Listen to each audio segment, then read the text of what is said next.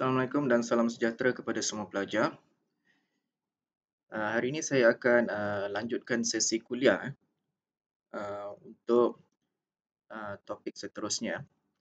So, ini adalah rakaman video uh, untuk kuliah pada hari uh, Selasa yang lepas. Okay. So, saya akan sambung uh, sesi kuliah untuk chapter 3. Eh. So, last week kita sudah uh, berhenti pada chapter 3 Okay.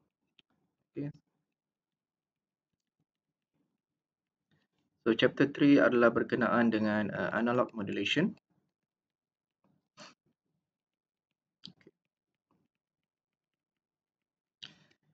So dalam uh, analog modulations, apa yang kamu akan belajar adalah uh, berkenaan sistem uh, keadaan yang berlaku dalam sistem uh, komunikasi tersebut. Eh. So kalau kita uh, lukis uh, gambar raja transmitter dan juga receiver. Okay. So kita ada uh, transmitter.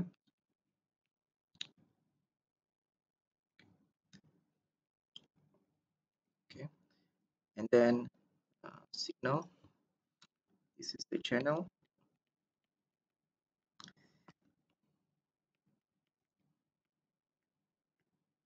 Okay, dan kita ada uh, receiver. Okay. So chapter 3 uh, kamu akan belajar tentang um, proses modulation dan juga demodulation untuk uh, analog system. Okay. So pada awal chapter 3 kita akan melihat uh, proses yang berlaku dalam uh, transmitter iaitu modulation process dan seterusnya kita akan lihat uh, demodulation process adalah proses yang berlaku pada receiver. So, uh, di dalam transmitter, kalau kita lihat, eh, uh, so, uh, apa yang berlaku adalah kita akan ada input. Okay. We have the input. Okay. And then, uh, input ini masuk ke dalam. Eh. Dan kita akan ada juga input uh, yang kedua yang dipanggil sebagai carrier.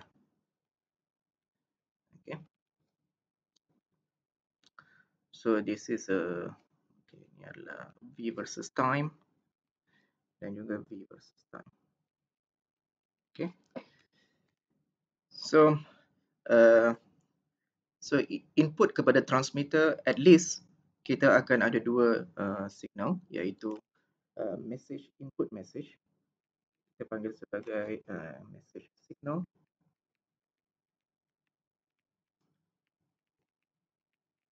Okay. So message signal uh, dalam kamu punya syllabus uh, ditulis sebagai uh, VMT ya. VM uh, function of time. Okay. Dan di sini uh, di bawah sini kita ada carrier signal. Okay. We have the carrier carrier signal yang mana dia menggunakan persamaan uh, VC of T. So ini adalah functions eh VMT dan juga VCT adalah functions. So cara menulisnya adalah dengan menggunakan huruf kecil eh untuk semua uh, huruf di sini eh V kecil, C kecil dan juga T kecil. So that's the uh, how we write the equations eh. Dia adalah functions. Okay, dia bukan uh, dia bukan constant value. Kalau constant value kita perlu tulis huruf besar. Okay, ini semua adalah cara menulis uh, mathematics eh. Okay. So, apa yang berlaku adalah uh, apabila uh, okay. So, di dalam uh, transmitter ini, okay, di dalam transmitter uh, kalau kita buat dia punya block diagram, eh, kalau kita buat dia punya block diagram akan ada uh, satu block diagram yang dipanggil sebagai uh, modulator.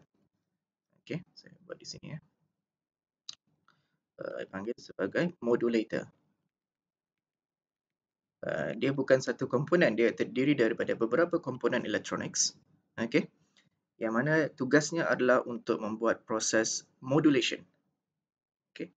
So, input tadi, kita ada dua tadi. Eh. We have a VCT, sorry, VMT.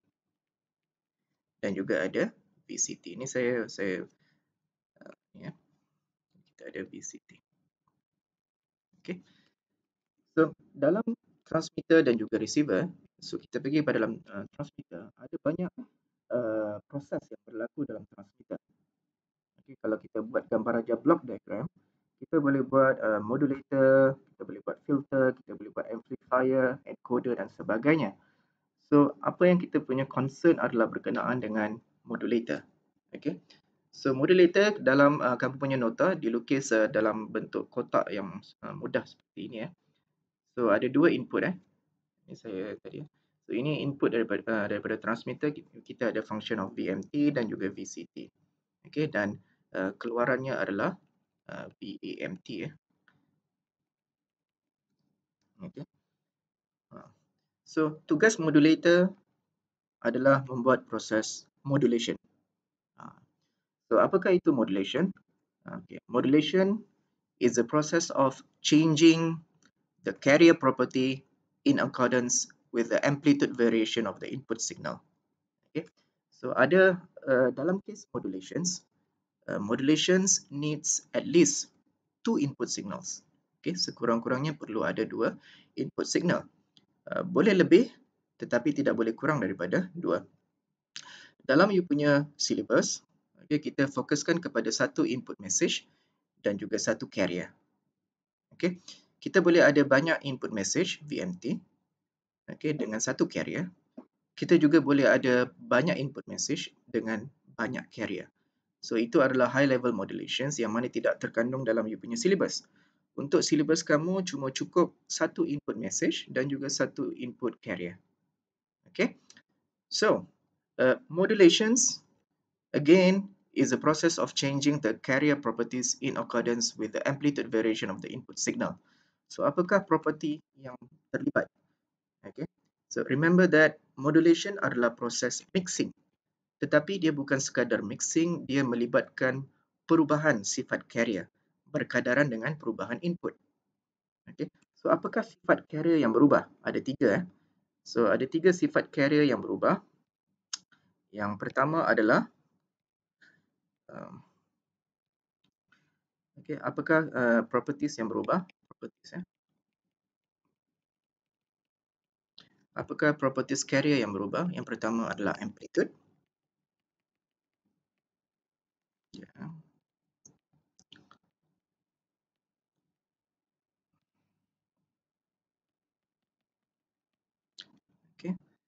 So sekiranya uh, perubahan amplitude berlaku, perubahan amplitude carrier berlaku, maka ini dipanggil sebagai AM, amplitude modulation.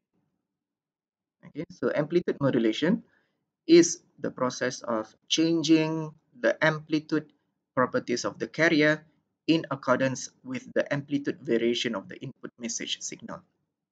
Okay. Properties yang kedua adalah frequency. Okay. Ini uh, juga dinamakan sebagai FM, frequency modulations. Okay. So frequency modulation is a process of changing the frequency of the carrier in accordance with the amplitude variation of the input signal. Okay. Dan property yang ketiga adalah phase ataupun fasa. Okay. So uh, ini dipanggil sebagai PM. So PM phase modulation adalah phase modulation is the process of changing the phase of the carrier in accordance with the amplitude variation of the input signal. Okay. So ini dia dia punya properties. Okay. So dalam kamu punya nota uh, dia akan start dengan AM kemudian berkenaan dengan uh, FM dan juga uh, PM. Nanti kamu akan lihat kedua-dua FM dan PM adalah saling berkait. Okey. Saling berkait. Ini juga dipanggil sebagai kedua-dua ini juga dipanggil sebagai angle modulation. Okey. Angle modulation. Okey. So, uh, berbalik kepada uh, gambar raja ini ya. Okey. So, uh, Okey. So apakah kebaikan daripada uh, AM? Uh, dalam nota ada dijelaskan berkenaan dengan AM. Okey. kita akan fokus dengan AM. Eh. So AM ada dia punya advantage dan juga dia, dia disadvantage. Ada advantage dan juga disadvantage. The advantage adalah uh, you're going to produce a simple system, simple uh, circuit for the system. Okay, so it is uh, effective for transmission. Okay, effective to transmit a signal in the AM uh, band. It is uh, uh, inexpensive, tidak mahal. Okay. Uh, inexpensive. So sistem dia tidak mahal. Uh, dan juga dia digunakan dalam uh, can be used for the broadcast system eh. Uh, for broadcast uh, AM radio broadcast. Okay, dia boleh digunakan dalam AM radio uh, broadcast. Okay, boleh digunakan dalam uh, untuk TV, uh, TV signal, okay, televisions, uh, aircraft, okay, aircraft uh, communications, uh, CB radio, uh, CB radio adalah citizen band radio, okay, CB radio, uh, computer modem, okay. Komputer modem dan sebagainya. Uh, among the disadvantage adalah uh, antara dia punya disadvantage adalah uh, again uh, power problem eh. Uh, wasted power. Okay, wasted power. Power in the carrier component.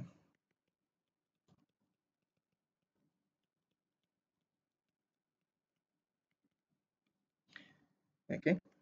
Dan juga uh, uh, high bandwidth. Eh. Ini antara dia punya disadvantage. Okay. Saya padam ini.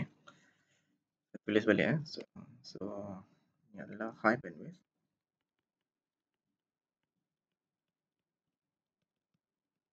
Okay. Uh, nanti kita akan lihat berkenaan dengan wasted of power dan juga uh, high bandwidth. Okay. But overall, it's a good system. Okay. Boleh digunakan untuk transmission. Kemudian uh, kita boleh juga lihat uh, berkenaan dengan persamaan equations that involve in the modulation process. Okay. So kalau kita kembali kepada sini ya. Ini ya. So um,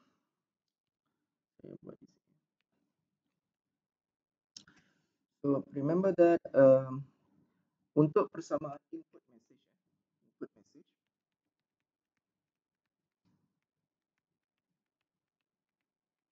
input message signal menggunakan persamaan uh, VMT manakala uh, carrier signal. Carrier signal. Menggunakan persamaan uh, menggunakan function uh, function uh, VCT VC of t. Okay. So dalam kamu punya syllabus uh, uh, input message ini menggunakan sign function okay yang paling mudah However, in the real world, dia tidak menggunakan sign function.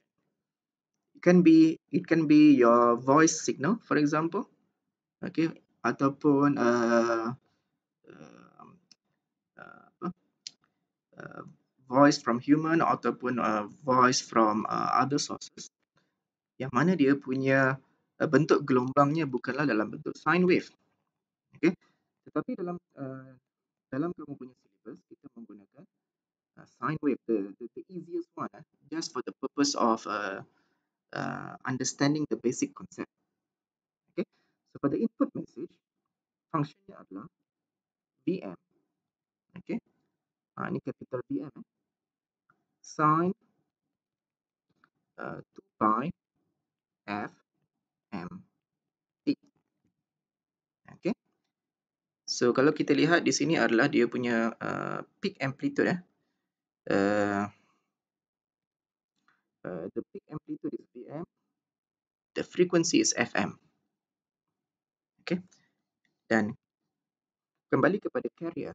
Persamaan carrier adalah Vc okay, sin 2 pi f c t. Okay. So, kalau kita lihat di sini, dia punya peak amplitude adalah, okay, peak amplitude-nya adalah Vc, frekuensinya adalah Fc. Macam mana bentuknya? Okay. So, kalau kita lukis dia punya uh, bentuk signal, eh. okay. So, kalau kita lukis di sini, sine function, okay. So, ini adalah V versus T, eh. Okay.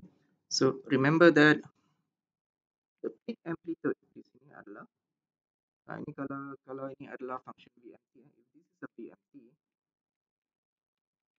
okay. Therefore here gonna be VM. Okay. And then over here is minus VM. What about FM? Uh, Remember that we have tempoh di sini. Eh? So, masa untuk satu kitaran lengkap, okay, masa untuk satu kitaran lengkap adalah TM. Okay, TM. So, FM sama dengan satu dibagikan dengan TM. So, you akan dapat dia punya frekuensi dalam Hertz. Okay.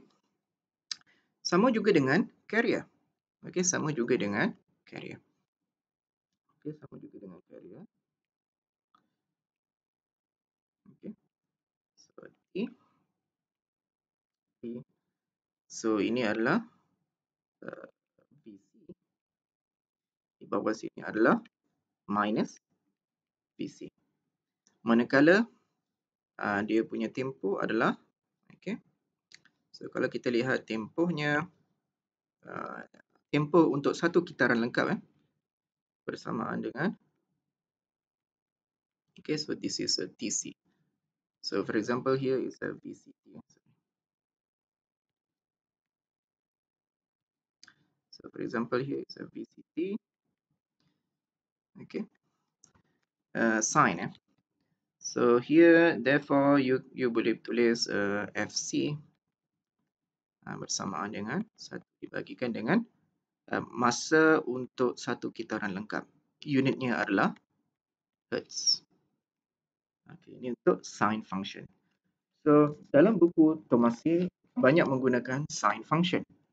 Kalau kamu lihat dalam buku uh, literature books yang lain, ada yang menggunakan cosine, cos. Okay, so it's not a problem. So, sine ataupun cos tidak menjadi isu. Okay. And perlu diingat di sini bahawa uh, nilai uh, remember that FC is larger than the FM. Okay, frekuensi carrier lebih besar daripada frekuensi message. Berapa besar? Ha, berapa besar? So dalam kes ini, okay, uh, carrier, okay, sorry, uh, carrier Uh, bergantung kepada uh, application yang digunakan. Okay. Kalau kita menggunakan uh, sistem AM, eh, amplitude modulations, dia ada dia punya julat uh, bandwidth. Okay. So, dalam kes ini kalau kita lihat, hmm. okay, sorry.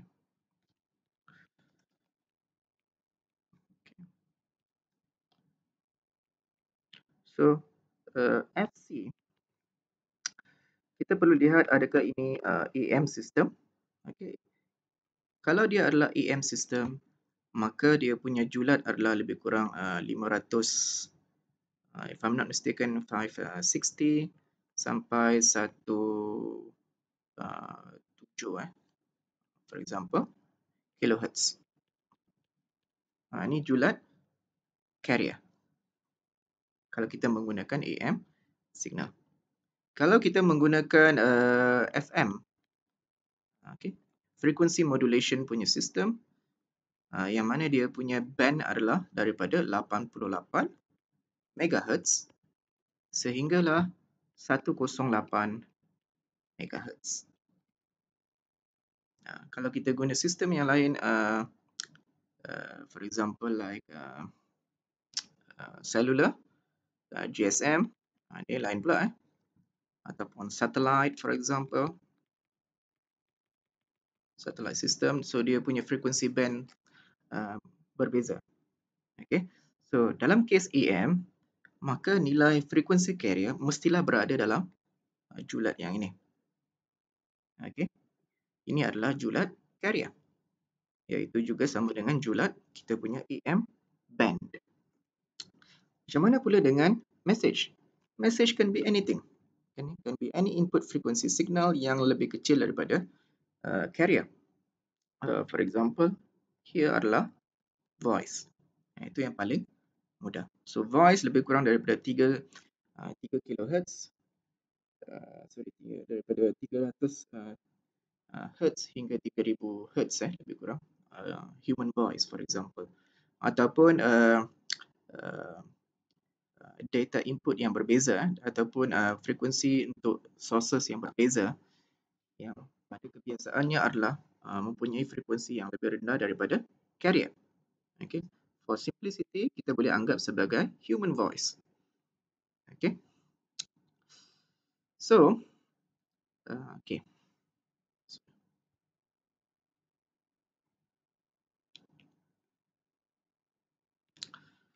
Okay, saya sambung sekejap. Eh.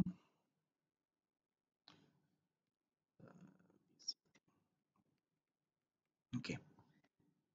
So, apa yang berlaku semasa modulation? Ha. So, now you know how much is uh, VMT, how much is VCT.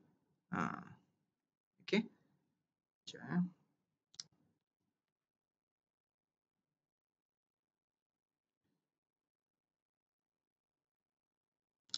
Okay. Ya, saya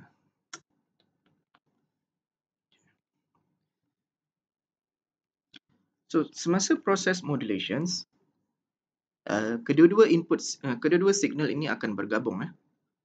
Okay, kedua-dua signal ini akan bergabung dan akan mengakibatkan uh, perubahan pada uh, carrier signal.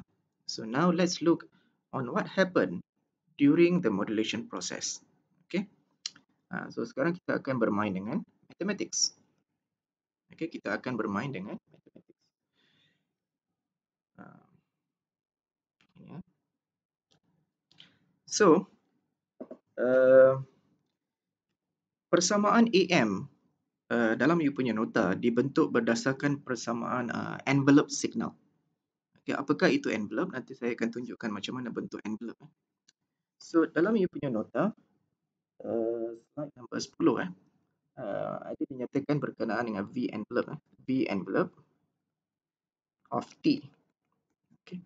Ini adalah envelope of AM iaitu bersamaan dengan VC, peak amplitude of the carrier, plus uh, function of message, VMT. Okay. So, ini adalah bersamaan dengan uh, peak amplitude of carrier, plus VM sine 2 pi FM T. Okay. So mula-mula uh, dia punya definition adalah dia uh, membentuk persamaan uh, V envelope. From there baru um, apakah uh, dia kembangkan persamaan V envelope ini eh. VC plus VMT so therefore you akan dapat VC plus VM sin 2 pi FMT. Okay. So uh, so jangan uh, jangan confuse bahawa 2 pi F okay. Remember that uh, 2 pi F bersamaan dengan bersamaan dengan omega. Okay. So 2 pi fm adalah omega m. Okay. Some other literature books dia menggunakan omega. Remember that omega adalah 2 pi f. Okay. So uh, proses modulation antara uh, input signal dan juga carrier akan menghasilkan persamaan AM. Ha, ini dia. Eh.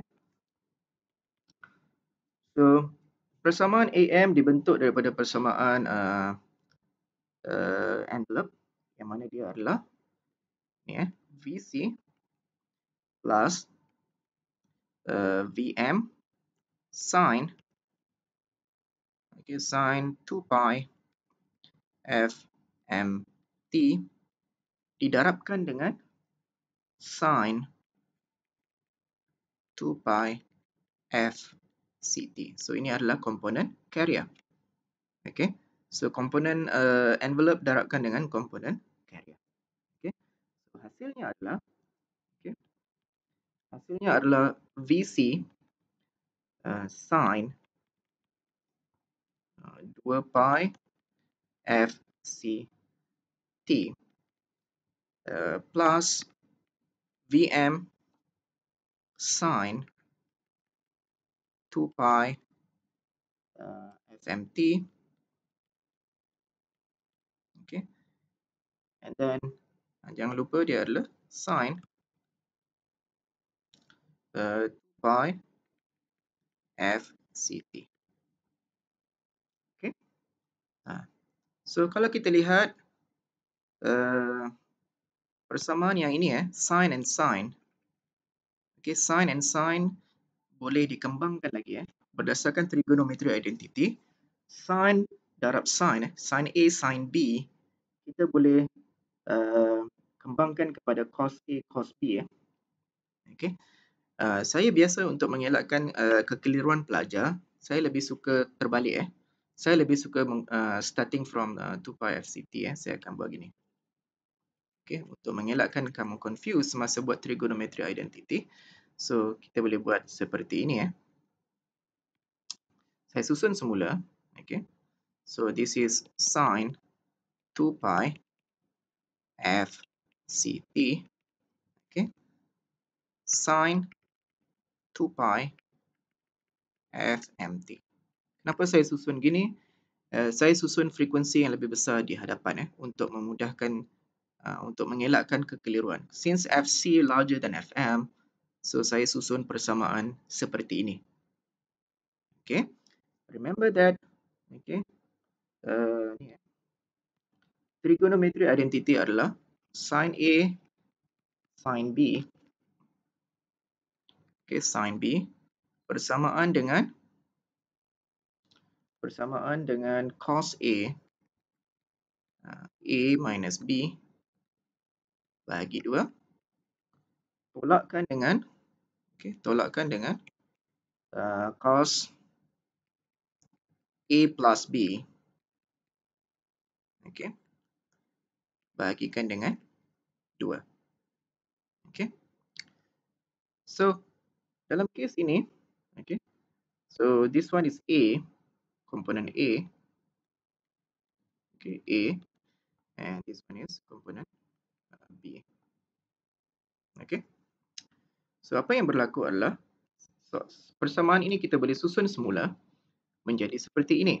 VC uh, sin 2 pi FCT okay and then uh, plus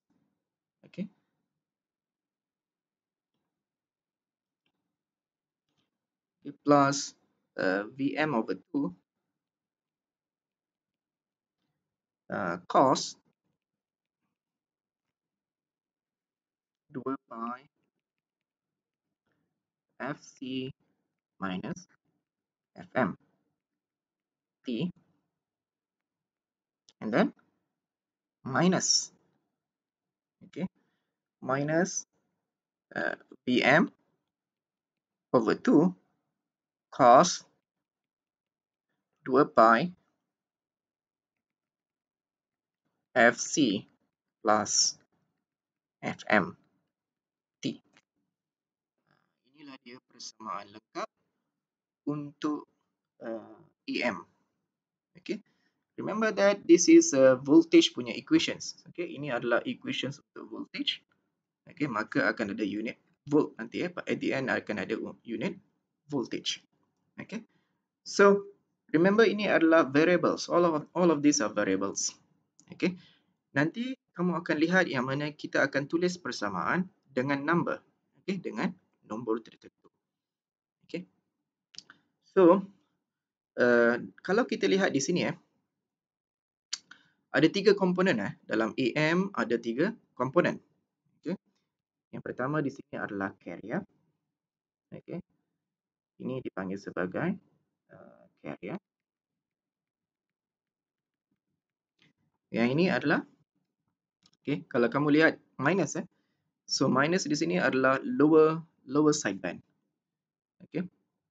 Ini dipanggil sebagai uh, lower sideband. Okay. Manakala yang ini eh, ini frekuensi yang tinggi eh. Tadi kalau kita tolak eh, FC tolak FM, you akan dapat frekuensi yang rendah. Okay, bahagian frekuensi yang rendah. Manakala FC plus FM, kamu akan dapat bahagian frekuensi yang tinggi. Okay, kamu akan dapat bahagian frekuensi yang tinggi. So ini dipanggil sebagai upper sideband. Okay, so akan ada tiga komponen. Ha, macam mana pula ni? Okay. So, okay. So, tiga komponen ini kita boleh uh, gambarkan dalam bentuk uh, frequency spectrum. Okay. So, saya lukis dulu dia punya spectrum. Eh. Uh, spectrum. Spectrum, uh, remember frequency spectrum. Uh, okay, frequency spectrum adalah Uh, uh, dalam faksi F eh, dalam faksi uh, frekuensi. Okay. So kalau dilihat di sini kita akan ada carrier. Okay, kita akan ada uh, upper sideband dan kita akan ada uh, lower sideband. Okay, sorry saya punya kita berapa ni.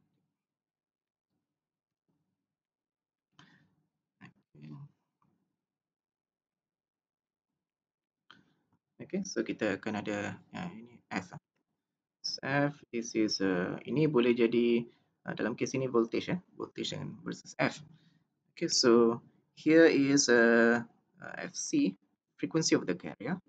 Here is FC plus FM. Okay, di sini adalah uh, FC minus FM. Uh, okay, so Ha. So kalau kamu lihat eh, gambar raja ini dipanggil sebagai frequency spectrum. Okay, we call this as a frequency spectrum. Okay, frequency.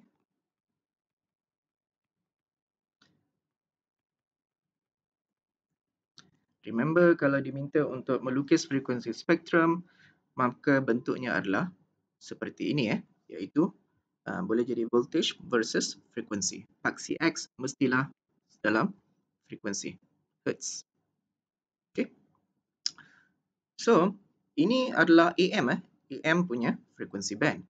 So, kalau saya lukis lagi eh gambar raja uh, yang lebih besar. Okay, saya lukis gambar raja yang lebih besar. Ini eh. Saya nak tunjukkan. Tadi mula-mula kamu ada FM. Remember that first of all you have the FM. Uh, sebagai input. Apabila berlakunya proses modulations, maka akan berlakunya frekuensi translation. Okey, daripada frekuensi yang rendah kepada frekuensi yang lebih tinggi. Okey. So, hasil daripada modulation ini, okey, hasil daripada modulation ini menghasilkan frequencies signal yang lebih besar daripada input message. Okay.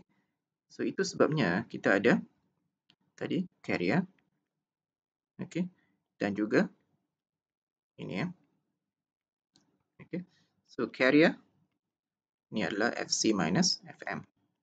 FC plus FM. Okay.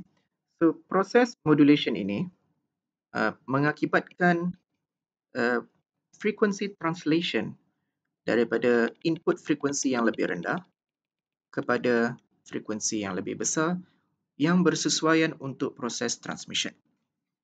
Uh, remember that salah satu uh, tujuan kita membuat uh, proses modulation supaya signal tersebut boleh dihantar pada jarak yang lebih jauh. Okay, so see that here, okay, adalah AM. Ini adalah input. So we translate uh, lower frequency signal into a higher frequency signal so that it is suitable for transmission in a, at a longer distance. Okay, itu salah satu tujuannya. Okay. So ini adalah frekuensi spektrum. Okay, kita balik semula kepada gambar raja yang lain. Okay. So saya nak tunjukkan gambar raja yang lain yang mana pelajar uh, biasanya dia confuse eh. Okay, biasanya pelajar confuse. So saya akan lukis uh, gambar raja. Okay. Uh, okay. So Uh, macam mana pula dengan bentuk waveform? Okay. Ini adalah frekuensi spektrum. Remember frekuensi spektrum dalam sebutan uh, dalam frekuensi domain. Ada satu lagi yang dipanggil sebagai waveform iaitu dalam time domain. Okay. So kalau kita lukis eh, gambar raja uh, modulator. Saya buat gambar raja modulator. Eh, modulator. Uh, block diagram. Eh. Uh, modulator block. Tak berapa ni. So modulator. Okay. So you ada input and you ada output. Tadi kita ada VMT dalam bentuk sine, sine wave. Okay, kita ada uh, VC, this is a VMT. Okay. Kita ada VCT. Okay, juga dalam sebutan sine wave.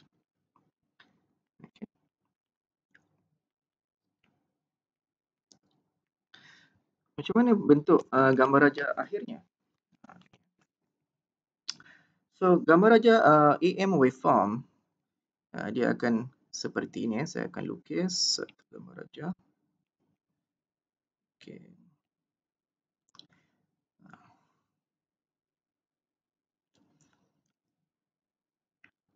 Okay, so saya biasanya akan uh,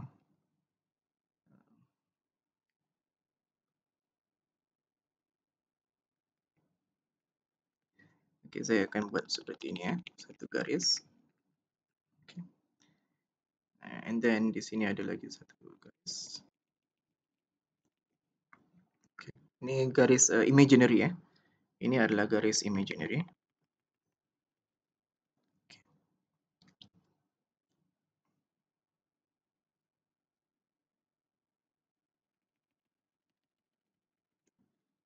Okay, ini garis imaginary yang mana uh, di sini adalah uh, BC. Okay. Dan uh, di sini lebih kurang, uh, uh, sorry.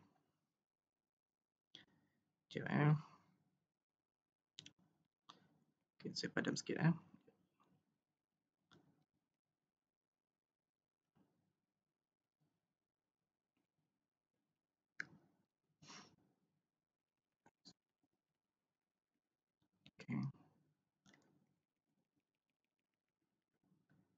So ini adalah V versus T. Okay, so here is a VM. Sorry, dia bukan VM eh, sorry. Okay, so here is a VC. Ini adalah minus, sorry, ini adalah minus. Sini adalah minus VC. Okay, so bila you lukis, okay, dia akan dia akan jadi seperti ini eh.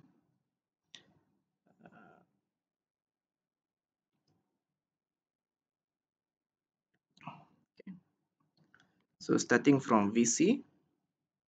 Okay, ini kembar dia lah. Dia sepasang eh. Okay. Oh sorry. Uh, ini pun sebenarnya adalah imaginary eh. Dia sekejap eh.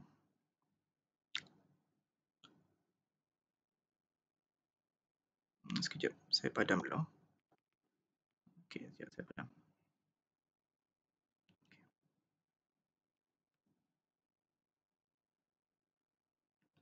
Okay.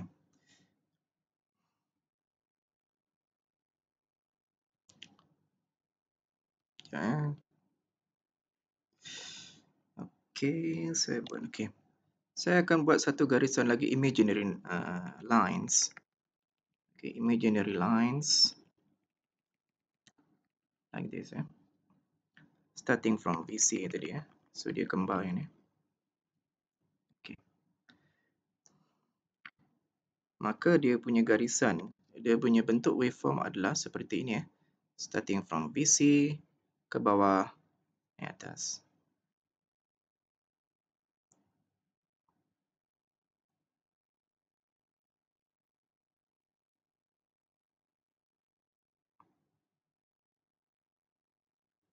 Ya, okay. So, inilah bentuk uh, AM. Eh. So, apa yang berlaku adalah, saya nak tunjukkan adalah, di bahagian atas ini, eh, dipanggil sebagai Vmax. Okay. Di bahagian yang paling bawah sekali adalah minus Vmax.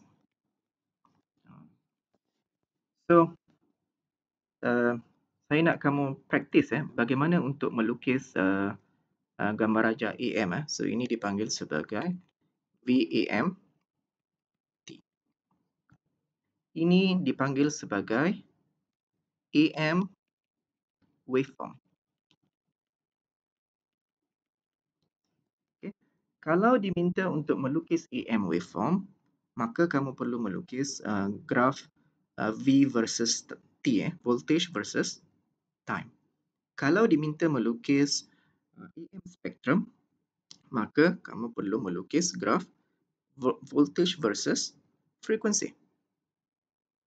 Okay, so ada dua perbezaan di situ. Eh. So jangan confuse. Sometimes uh, the question asks about waveform, sometimes the question asks about spectrum. So jangan confuse. Okay. So apabila melukis waveform, apa yang saya nak lihat adalah uh, berapa dia punya Vmax, berapa dia punya Vc. Okay, so you have to put the number. Okay, the best way to to draw is first of all you draw the uh, the axis, eh, aksinya V versus time, and then you draw the uh, the graph, and you need to label at least the best way is to label the Vc and also the uh, Vmax. Ada satu lagi yang boleh dipanggil sebagai, ini saya nak tunjuk lagi. Eh. Di sini dipanggil sebagai Vmin. Ini minus Vmin. Eh. Di sini ada Vmin. Ha. So dia seperti mirror. Eh. Okay, dia seperti mirror. Atas dan bawah. Okay. Ha, ini dia punya uh, keadaannya sebenarnya. Nanti kita akan lihat dengan lebih detail yang ini. So, Ha. Um, se bila melukis, kita perlu labelkan eh, berapakah nilai max, uh, minimum dan juga uh, berapakah nilai VC for example. Okay. So inilah gambar raja uh, AM waveform. Uh, tadi kita ada belajar berkenaan dengan uh, envelope. Eh. Kalau kita lihat equation yang tadi. Equation AM dibentuk berdasarkan uh, persamaan envelope yang ini. Eh. Okay. So, di manakah envelope?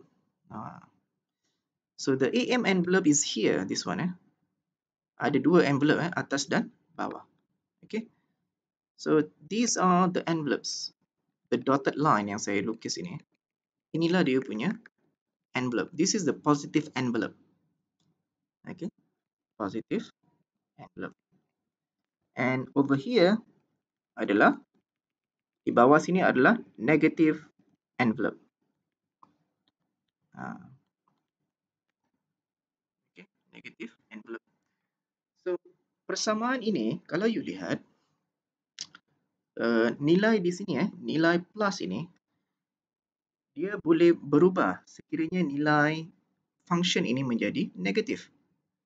Okay, remember that sign function, dia akan ada negative side.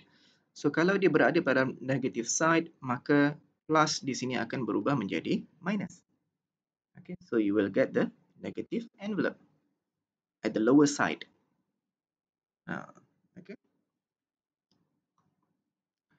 So inilah perbezaan antara sign dan juga uh, perbezaan antara waveform dan juga spektrum. So kelas perhatikan eh daripada sini kita dah boleh nampak ianya adalah AM. AM, remember AM adalah melibatkan perubahan amplitude carrier. Okay, AM melibatkan perubahan amplitude carrier. Okay, daripada uh, sin uh, 2 pi FCT kepada bentuk uh, AM seperti ini. Eh. So macam mana keadaannya? Saya, saya akan tunjukkan di sini. Yang ini. Eh. So kalau kamu lihat uh, pada garis, uh, gambar raja atas adalah uh, uh, carrier signal. Dia rapat-rapat. Eh. So kalau gambar raja rapat-rapat seperti ini, ia adalah uh, high frequency. Eh. Frekuensinya adalah tinggi. Okay. Frekuensinya adalah tinggi. So this is a high frequency, FC. Okay. Dan di bawah di sini adalah uh, frequency message. So dia berjarak-jarak. Eh. Kalau you lihat dia punya ripple ini jarak. Eh. So uh, dia adalah frekuensi yang lebih rendah. Okay. So dalam kes ini kalau kamu lihat VC bersamaan dengan 10 volt. Okay. Di sini adalah VM bersamaan dengan uh, 5 volt. Okay. And apabila kamu lihat uh, AM ini, eh, kalau kita nak uh, lebih detail, lah, kalau kita pergi kepada lebih detail. So kalau kamu lihat starting from the carrier, okay, 10 eh, tadi, dia akan naik sehingga maksimum Vmax. So Vmax di sini adalah VC plus VM. So dalam kes ini dia adalah 15 volt. Okay. Sama juga di sini eh uh, untuk di bahagian bawah. Okay, dia adalah minus VC tolak VM. So dia dapat uh, Vmax minus eh minus Vmax eh. Vmax pada bahagian negatif. So di sini akan dapat minus uh, 15 volt. Uh, inilah uh, nilai-nilai uh, yang boleh diplotkan dalam graf uh, waveform. Okay. Uh, what about the minimum?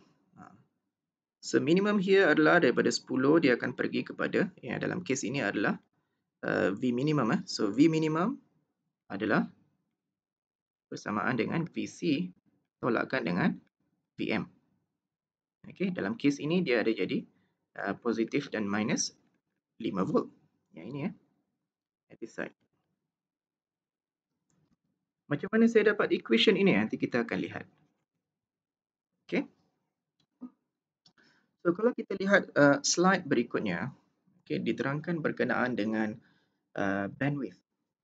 Okay, diterangkan berkenaan dengan bandwidth. So kita uh, ini kembali kepada frequency spectrum. Kalau kita lihat kita ada uh, LSB eh. Here is a LSB, here is a USB. Okay. So kalau kamu lihat jaraknya adalah FM. Di sini juga adalah FM jaraknya sama. Ha. Oleh itu dia punya bandwidth. Bandwidthnya adalah ha, ni kalau saya buat kotak mungkin you nampak eh. Ha. So the bandwidth okay bandwidthnya adalah uh, frekuensi yang tinggi yang paling tinggi tolakkan dengan frekuensi yang paling rendah iaitu uh, FC plus FM plus FC minus FM. So, you akan dapat bersamaan dengan 2 FM. Okay. Bandwidthnya adalah 2 FM dalam sebutan Hertz. Okay. Ha, ni ada ditunjukkan. Eh. So, um, okay. You see that the the uh, The statement is that the information in the baseband information signal is duplicated in the LSB and the USB and the carrier conveys no information. Apa maksud dia? Okay. Kalau kita lihat ah, uh, tadi, tadi, tadi, yeah. So, yeah. So ini adalah carrier. See? Sini adalah uh, FC plus FM. The F eh. So di sini adalah lebih kurang uh, FC minus FM. So ni dia punya ni adalah VC. Ini adalah VC. Ini adalah VM. Ini adalah VM. Okay. So apa yang dimaksudkan adalah uh, information eh information terkandung di dalam LSB dan juga USB. Okay, information terkandung di dalam uh, saya buat color lain je eh. So, information terkandung di dalam LSB dan juga USB. Okay. Apa itu information? Uh, content daripada information itu berada dalam LSB dan juga USB. Okay. Maksudnya, uh, information yang terkandung dalam USB, yang ini eh, information yang terkandung dalam uh, sini eh, adalah sama dengan information yang terkandung dalam frekuensi yang ini, upper sideband. They are the same information. Okay. So LSB dan USB membawa information yang sama. It's like a duplicated. Okay, seperti duplicate. Okay, ada dua uh, side, ada dua uh, upper side, uh, upper sideband dan uh, lower sideband membawa information yang sama. Duplicate. Okay, manakala carrier tidak membawa sebarang info. Okay, carrier tidak membawa sebarang information. Dia seperti uh, tin kosong eh, for example. Okay. Dia ada container but uh, nothing inside. Okay. So this is what happened in the EM for the double sideband full carrier. So this is what we call as a uh, ini adalah dalam kategori double sideband uh, full carrier. Uh, remember that double sideband full carrier means that ada dua sideband dan ada satu carrier. Ini juga dipanggil sebagai EM. Okay, ini juga dipanggil sebagai EM dalam nota kamu. Uh, yeah. Dalam nota kamu, double sideband full carrier dipanggil sebagai EM. Okay. So, ini adalah uh, EM, double uh, double sideband full carrier. Okay, ada dua sideband dan ada dua uh, sorry, ada dua sideband dan ada satu carrier. Okay. So, uh, kalau you lihat uh, daripada gambar sini pun kita dah boleh agak uh, it is not a good thing actually to uh, to send a duplicated signal. Okay. Seolah-olah kamu hantar signal dua kali manakala yang satu lagi tu dia tak membawa apa-apa info. Ha. Okay. So you see that it is uh, for double sideband full carrier. Okay. Seolah-olah kita menghantar signal dua kali dan juga uh, membawa satu uh, menghantar carrier tanpa sebarang info. Ha, maka ada sedikit pembaziran di situ eh. Ha, maka kita akan lihat berkenaan dengan isu ini nanti. modulation index. Nah, ini adalah nisbah antara uh, signal voltage over car carrier voltage. Okay. So dia uh, tidak ada unit eh. M is has no unit. Okay. So M is equal to Vm over Vc. Uh, perhatikan eh kelas ini adalah peak amplitude eh. Okay, this is a peak amplitude yang mana kalau kita lihat Okey, sini adalah ini ya, BM yang ini ya, peak amplitude. Sama juga dengan carrier. Okey. Uh, dia punya peak amplitude of the carrier. Okey. VM dalam sebutan voltage, VC dalam sebutan voltage. Uh, remember. Uh, kesilapan pelajar adalah uh, dia buat seperti ini ya, which is wrong. Ya, eh kesilapan pelajar yang lepas dia buat seperti ini uh, VM T dibahagikan dengan VCT okay. ini adalah kesilapan yang besar okay. jangan dibuat seperti ini ada juga pelajar yang buat terbalik okay. dia buat uh, M sama dengan uh, VC dibahagikan dengan VM which is wrong Remember, uh, M adalah bersamaan dengan VM, the peak amplitude of the message signal dibahagikan dengan peak amplitude of the carrier signal. Okay, dia adalah constant value. Remember, this is a constant, not a function. Okay. So, uh, ini tidak ada unit. Uh, dalam percentage, eh, modulation index dalam percentage, uh, dalam dia punya nota, dia gunakan huruf besar M, eh, which is equal to VM over VC times 100. So, you akan dapat dalam percentage. Okay. So, ada ada tiga kategori uh, modulations, eh, EM modulations. Uh, modulation index ini juga dapat memberi gambaran kepada tiga jenis keadaan. Okay, iaitu uh, the first one is under modulated if m is less than 1. Okay, m less than 1 means that apa dia?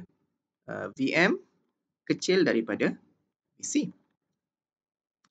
Ideal AM means that VM equal to VC overmodulated means that M more than 1. Therefore, VC, uh, sorry, VM more than VC. Ha.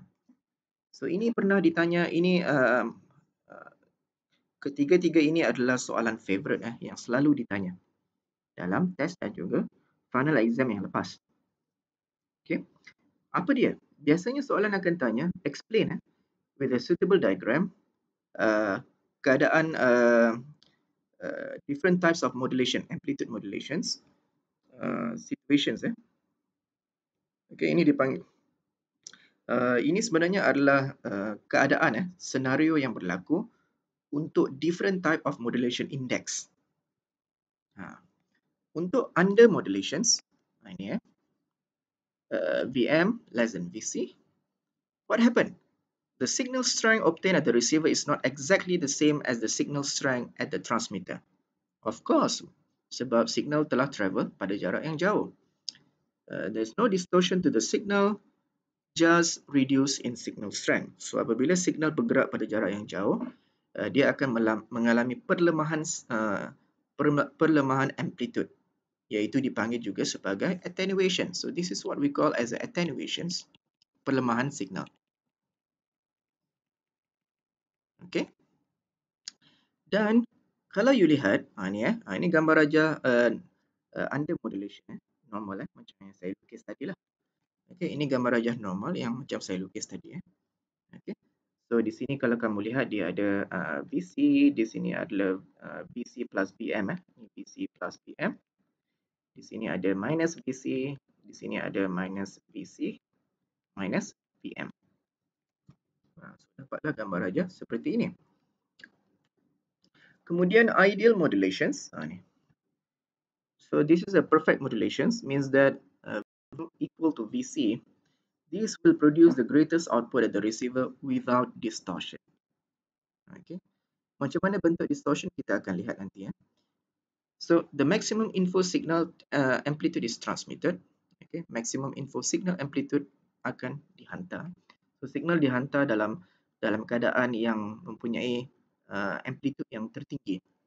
So more info signal power is transmitted, producing stronger, more intelligible signal.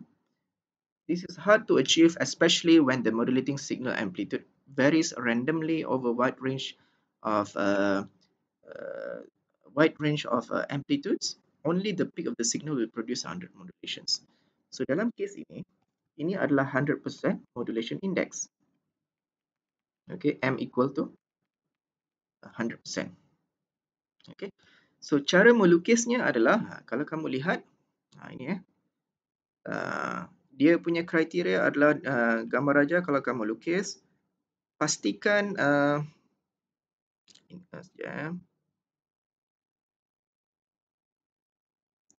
Okay, pastikan uh, bercantum eh, antara uh, uh, positive envelope dan juga negative envelope dia bercantum di sini ya. So ini pastikan dia bertemu eh garisan tersebut bertemu. Okay. Uh, again saya nak terangkan bahawa uh, garisan putus-putus ini sebenarnya adalah imaginary uh, lines eh dia bukan uh, signal sebenarnya dia adalah imaginary lines. Signal berada di dalam sini. Nah, ini semua signal eh. Okay. Saya nak ingin ingatkan bahawa garisan merah uh, garisan merah ini bukanlah signal, dia adalah imaginary lines. Yang mana dia nak gambarkan bahawa di sini adalah uh, envelope, eh, upper envelope and lower envelope. Okay. Untuk over modulations, uh, M more than one, okay, maknanya dia punya uh, dia punya modulation index more than uh, 100%. Okay, so this is for the case of uh, VM larger than uh, VC. Uh, this will cause distortion. Okay, cause distortion uh, within the signal. So apa yang berlaku adalah berlakunya clipping eh, sorry, antara uh, upper sideband and also the lower sideband. Okay, berlaku clipping antara upper sideband and lower sideband. So dalam case ini, uh, yeah,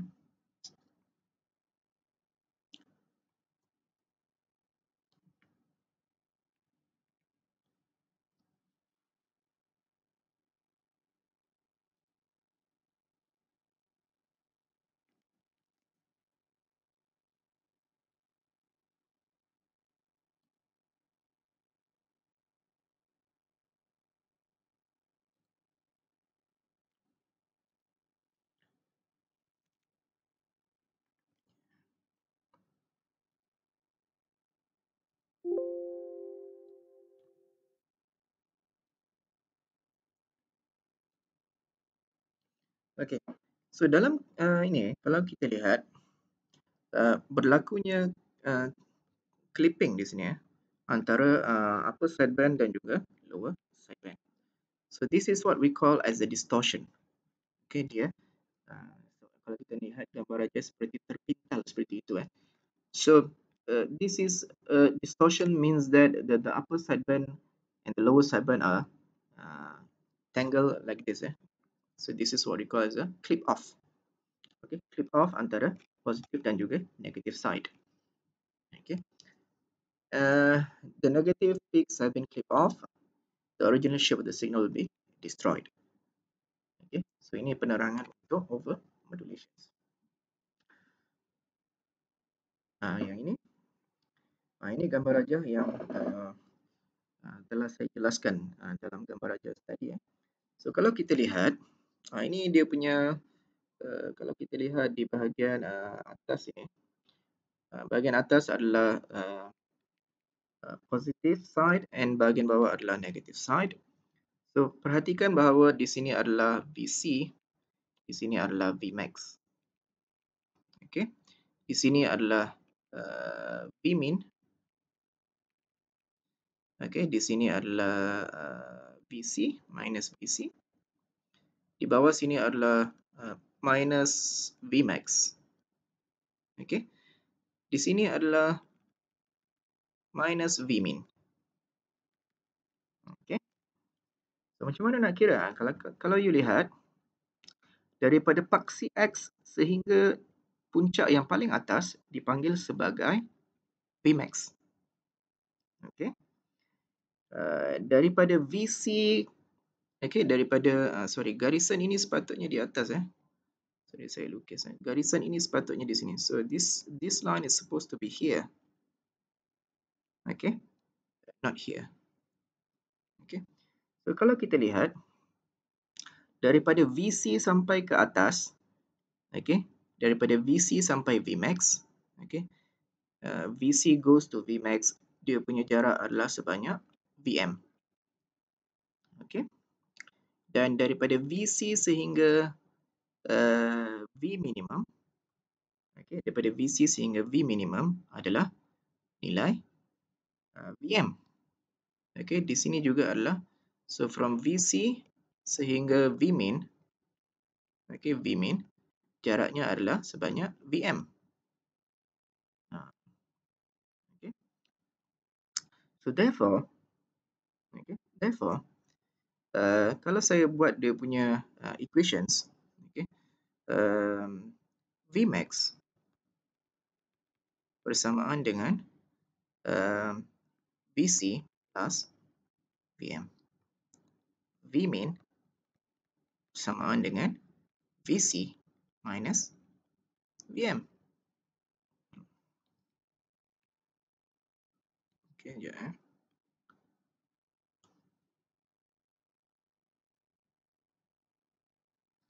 Okay, VC minus VM. Nah. Kalau kita buat uh, uh, kalau kita bermain dengan VM, okay. So kalau you lihat uh, VM, so ini ada Vmax. So uh, okay. Boleh juga kita buat dalam sebutan yang seperti ini eh, VM dan juga uh, VC dalam sebutan Vmax and Vmin. Okay. So v, VM bersamaan dengan Vmax tolak Vmin dibahagikan dengan 2. Okay. Kerana ini uh, Vmax tolak Vmin. Eh. Vmax tolak Vmin uh, akan jadi bersamaan dengan 2 VM. Itu sebab you kena bahagikan dengan 2. Vmax plus Vmin dia akan jadi bersamaan dengan 2 VC. Okay, 2 kali ganda PC. Okay. So that's why you kena bahagikan dengan 2. Okay. So therefore, seterusnya, ha, ni eh. So kalau you lihat, okay, uh, since kita punya, uh, so since M equal to uh, BM dibagikan dengan uh, BC. Okay maka ini boleh juga you buat seperti ini. Okey. Seperti ini eh. Uh, VM adalah Vmax tolak Vmin. Vmax tolak Vmin. Dibahagikan dengan uh, sorry ini bahagi dua. And then uh, bagi VC per dua. So dua tu boleh cancel. Nanti saya buat macam ni. Saya tunjuk biar jelas lah. Okay. So, so ini adalah uh, Vmax uh, tolakkan dengan Vmin uh, bahagi dua, bahagi dua, dibahagikan pula dengan Vmax plus uh, Vmin per dua. Uh, so this two, dua ini boleh di cancel out. Okay, you boleh cancel out dua ni. 2 dan 2 boleh cancel out. Maka dia akan jadi uh, Vmax tolakkan dengan Vmin dibahagikan dengan Vmax plus Vmin. Uh, okay. Nah, ini. ini eh. So, tadi kita lihat satu bahagian kalau kita lihat kedua-dua bahagian peak to peak eh, so maka maximum and minimum akan jadi peak to peak. Boleh juga eh? Peak to peak. Okay, daripada peak amplitude positif kepada peak amplitude negatif okay. So uh, okay. Uh, remember that uh, itulah eh. Uh, dalam uh, dalam test dan juga final eh, uh, pelajar diberikan uh, gambar rajah uh, seperti ini eh, uh, gambar rajah AM yang mana pelajar uh, diberikan uh, maklumat tentang uh, AM waveform. Daripada situ pelajar boleh mengenal pasti berapakah nilai uh, Vmax, Vmin, uh, VC dan juga VM. Okay. Apabila diberikan bentuk uh, waveform seperti ini, kamu apa yang kamu perlu tahu secara natural kamu perlu tahu bahawa okey? Secara umum kamu perlu tahu bahawa nilai paling atas okey nilai paling atas merujuk kepada Vmax okey? Okey here starting here the waveform here here is a VC okey? Nilai di sini adalah Vmin okey? Sini juga minus Vmin okey? Kalau katalah you tak tahu berapa VC pun tak apa eh. And then uh, here is uh, uh, minus Vmax. Uh, daripada Vmin dan juga Vmax, you boleh terbitkan persamaan VC dan juga persamaan VM. Once you dah tahu berapakah nilai VC VM, maka you boleh terbitkan persamaan VCT dan juga persamaan VMT. sekarang mungkin tak berapa jelas yang ini. Kita akan kalau kita masuk ke dalam uh, example kita akan nampak lebih clear. Okay. So ha, okay. so um, untuk uh, test dan juga final, saya nak kamu fahamkan betul-betul tentang uh, gambar raja uh, AM yang ini ya. Eh.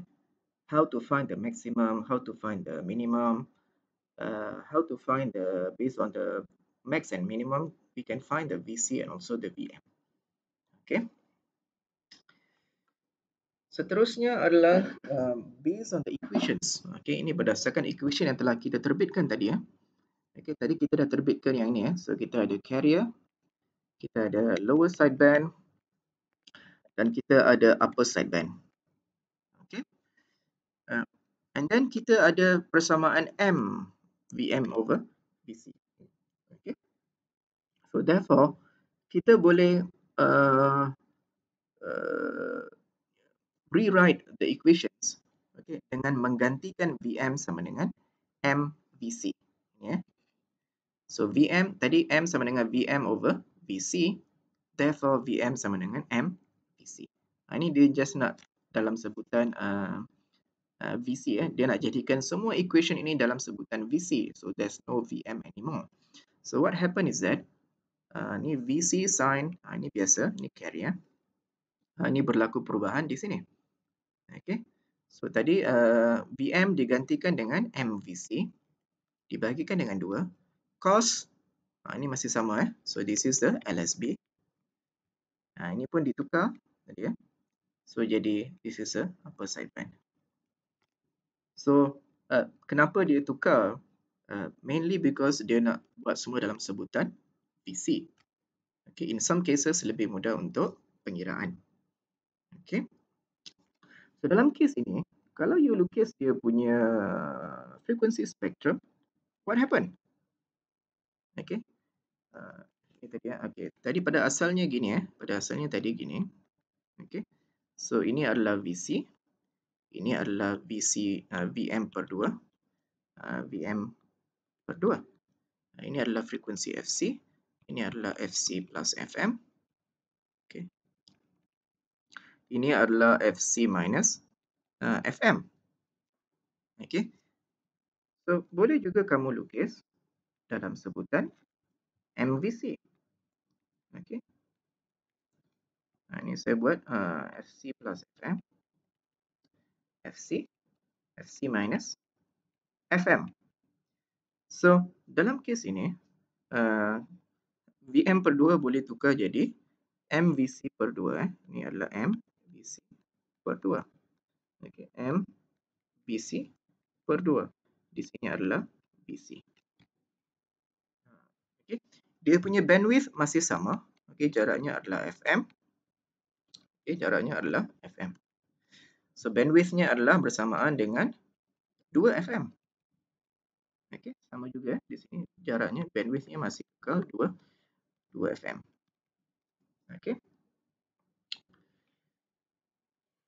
Um, okay. Ini a carrier signal with a peak voltage of uh, 2 volt is amplitude modulated with a 10 kilohertz sine wave. The modulation voltage has an effective value of uh, 750. Compute the following. The percentage modulation M, the instantaneous voltage of the positive and negative envelope when the 10 kilohertz sine has completed 68 microsecond of its cycle. Illustrate the resulting AM waveform. Ini apa ni? Oh, dah ada jawapan. Okay. okay. So perhatikan eh kelas uh, a carrier signal with a peak voltage of 2 volt ini adalah VC is amplitude modulated bermakna carrier telah di amplitude modulated dengan signal lain. Maka ini adalah signal yang lain itu adalah mempunyai frekuensi 10 kHz. Maka ini adalah nilai FM dan dia adalah sine wave. So the modulation uh, the modulation voltage has an effective value of uh, 750 uh, millivolt. Okay, apakah nilai ini? Uh, so uh, perkataan modulation voltage ataupun modulating voltage ataupun uh, uh, message signal voltage ataupun input voltage okay, dia merujuk kepada nilai PM. Okay. So, yang pertama adalah cari percentage modulations. So, therefore, kita kena cari nilai M. So, M equal to VM over VC darabkan dengan 100. So, 750 millivolt dibahagikan dengan 2. Okay. Sekejap eh. Okay, ini adalah effective eh. So, effective means that uh, you kena darabkan dengan square root of 2 eh. Uh, okay. Remember, effective adalah uh, V peak dibagikan dengan square root of 2. Okay. So, dalam case ini, uh, you kena darabkan dengan square root of 2. Okay, so, uh, and then you bagikan dengan 2. Okay, so that means, uh, remember persamaan M eh, persamaan M uh, VM VM adalah bersamaan dengan uh, VM RMS you darabkan dengan square root of 2. Okay. So berapa ni kalau you kira balik uh, 750 750 darabkan dengan uh, punca 2 so adalah uh, 1.06 eh.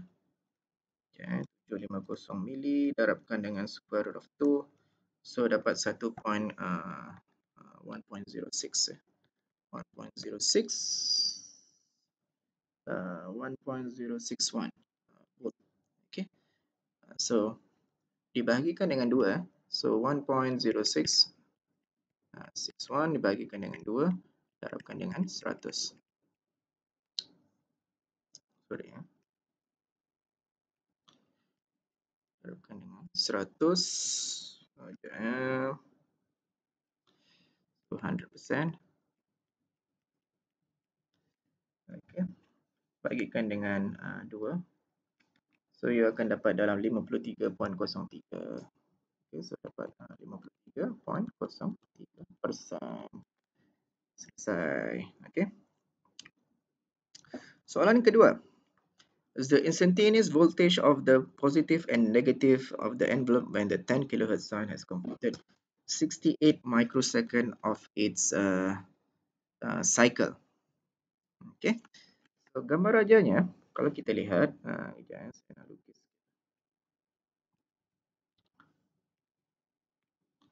Uh,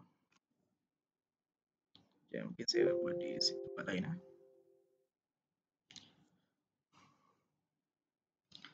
Okey, kalau kita lihat dia uh, gini eh.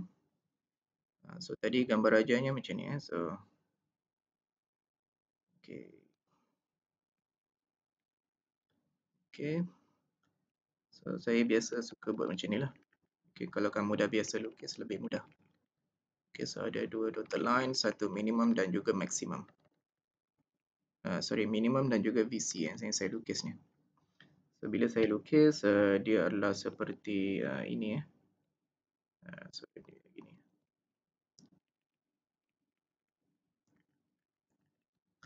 So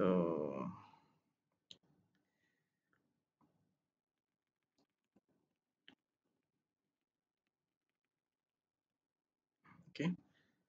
So dia punya grafnya adalah starting from here turun ke bawah naik turun bawah. Okay, dia follow saya punya dotted line lah.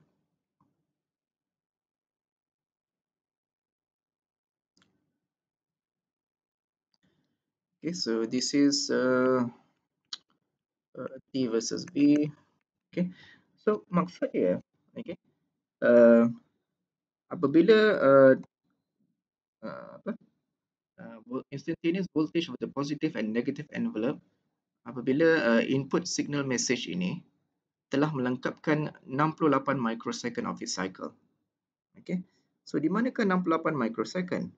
So kalau kita lihat, okay, uh, 68 microsecond is uh, let's say somewhere over here. Uh, sorry.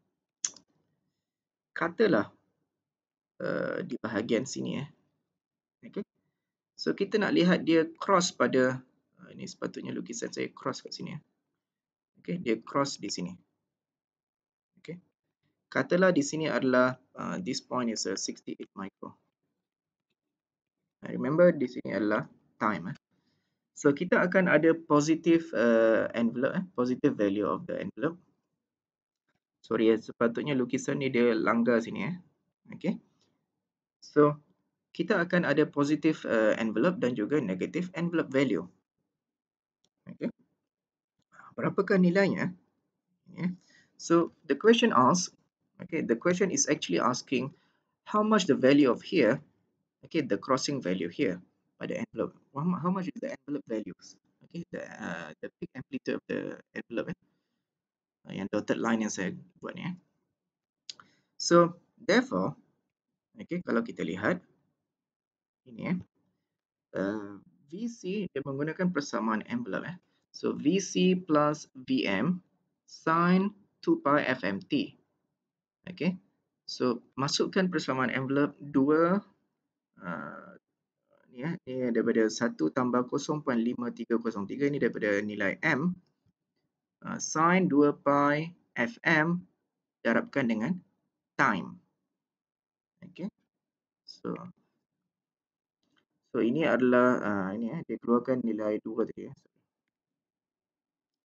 so uh, this is a vc and then uh, sini adalah uh, nilai vm okey So kalau you lihat dia bahagikan semua dengan uh, dia bahagikan semua dengan dua. So ni dia daripada persamaan ni ya. Satu tambah uh, M eh. Sebabnya di sini adalah uh, M bersamaan dengan VM over VC. Okay. So kalau you darabkan dengan uh, sorry. So kalau you bahagikan semua dengan VC, you akan dapat nilai M di sini. okay, VC di luar sini ya. So ini jadi satu. Okay. So therefore ini daripada persamaan envelope ya. So tidak perlu confuse. Okay, dia hanya menggunakan uh, nilai M di sini menggantikan nilai VM. Since kita sudah dapat nilai M. Okay, kenapa dia gunakan nilai M? Kerana kita telah dapat nilai M di sini. So why not we use it here?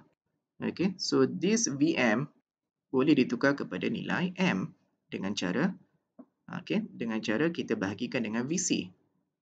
Okay. So, ya, ini dia nilai M, nilai sin, nilai FM dan juga nilai time adalah 68 microsecond. So, kalau you kira, okay, dia boleh jadi plus minus. Okay. Dia boleh jadi plus dan juga minus. Okay. Uh. Okay.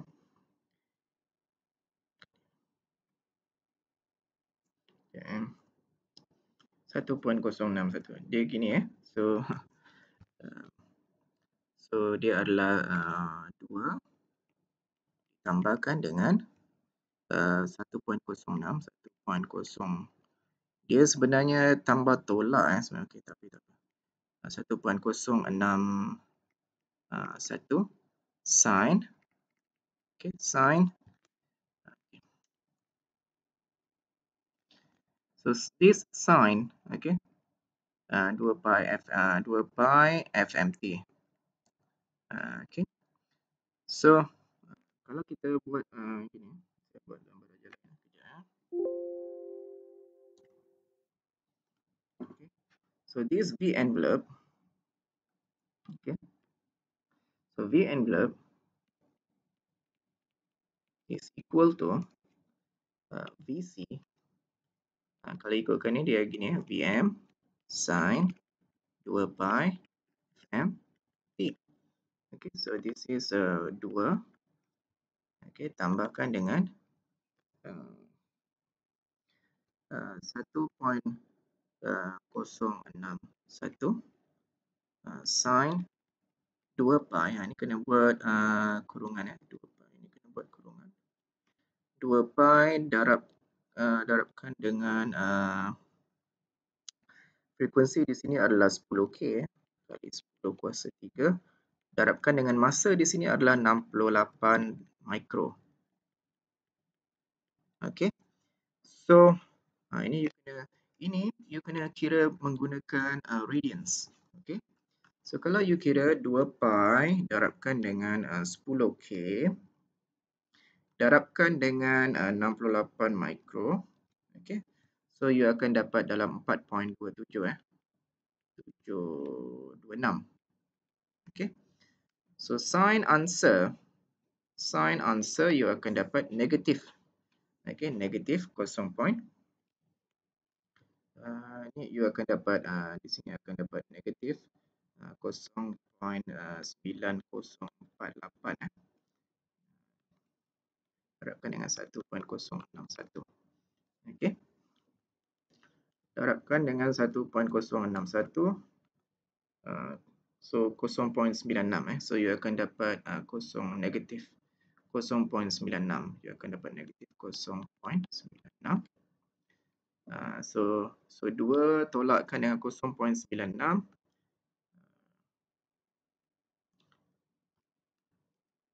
1.04 eh. So you akan dapat uh, 1.04. Okay. Remember, uh, okay, kita ada uh, uh, upper and lower uh, upper and lower uh, envelope. Okay. Kita ada upper and lower envelope. Therefore, okay, apabila dia cross pada masa uh, 68 uh, microsecond, dia sebenarnya akan ada plus minus. Okay, akan ada plus minus. Okay.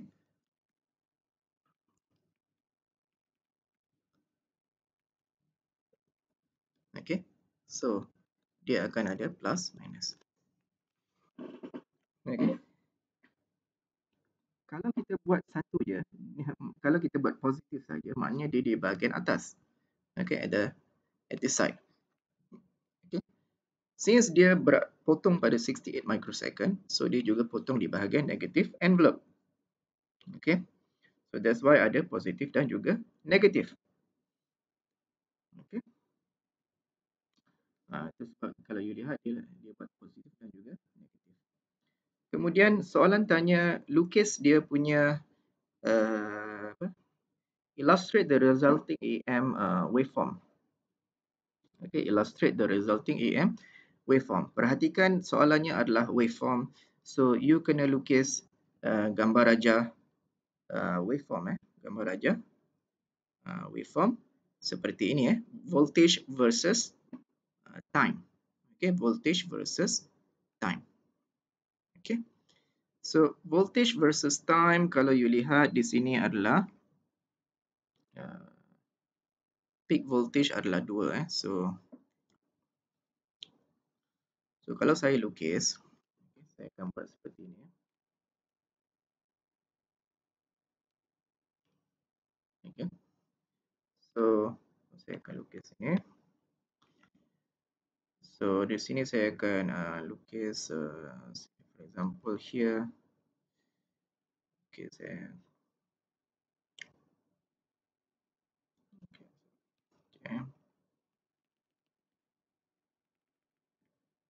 Okay.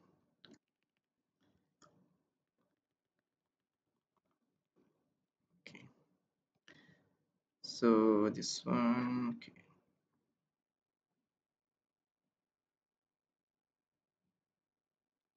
okay remember kalau you melukis lukis uh, label paksinya voltage di sini adalah uh, Vmax. Kita boleh tahu berapa ke Vmax di sini Vmax. Okay di sini adalah uh, minus Vmin So kita boleh tahu berapakah nilai Vmax. Vmax adalah uh, uh, 2 tambahkan dengan 1.06 eh. Tadi kita dapat 1.0. 2 tambahkan dengan 1.04. Uh, sorry, 1.061. Okay, 1.061. 1.061. Okay. Manakala Vmin adalah uh, negatif 2 tolakkan dengan 1.061. Okey. So ini bersama dengan 3.061. 3.061 ini adalah negatif 3.061. Okey. So you boleh tahu di sini adalah V min uh, V VC adalah bersamaan dengan 2 volt VC.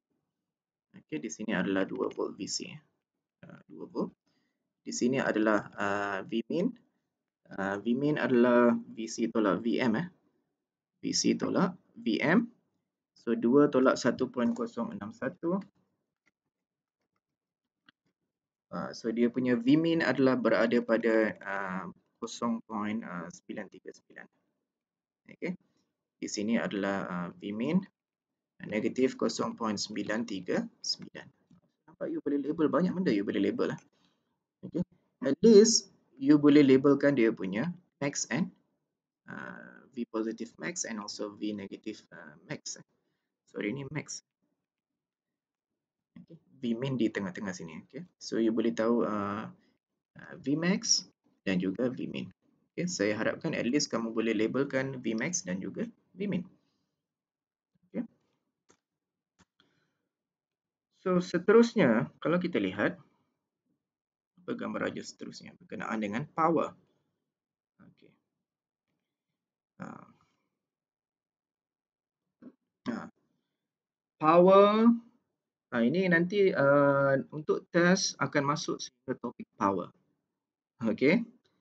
Uh, power adalah bersamaan dengan uh, V square RMS bahagikan dengan R ataupun kita boleh buat dalam sebutan peak amplitude V uh, peak amplitude dibahagikan dengan 2 R.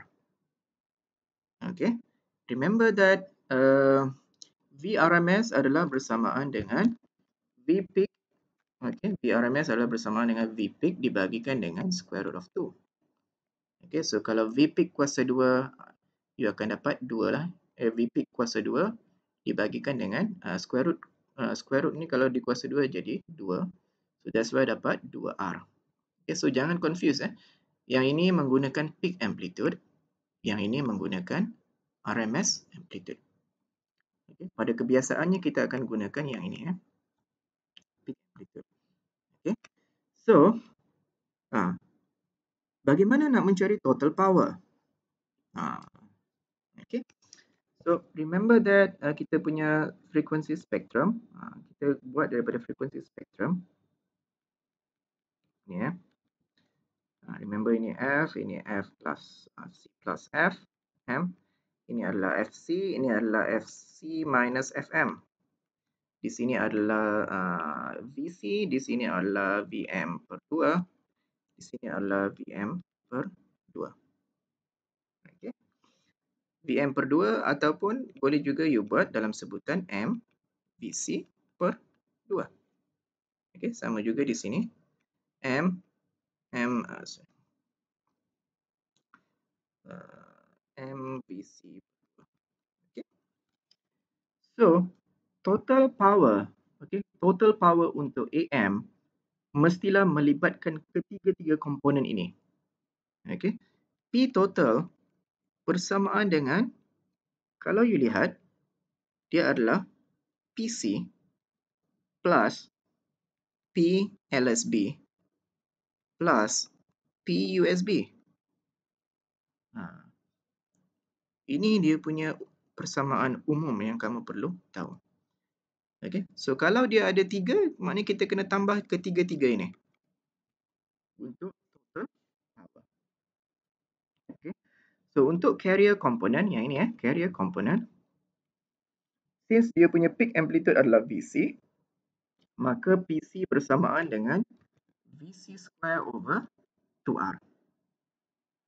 Okay. Untuk uh, LSB dan juga USB, okay, ini adalah you boleh kata LSB ataupun USB. Okay. Ini adalah USB. Okay. So, dia punya ini adalah maknanya uh, MVC per 2, ini kuasa 2 eh, semua ni, bahagikan dengan 2R. So, jadi 8R. Okay, itu sebab jadi uh, MVC square bahagikan dengan 4 kali 2R. So 8R lah. So sebenarnya dia akan jadi uh, MVC. Ini adalah uh, M square VC square dibahagikan dengan 8R. Okay. Uh, so, uh, okay, dia buat uh, seperti ini. Eh. Uh, uh, eh, saya padam.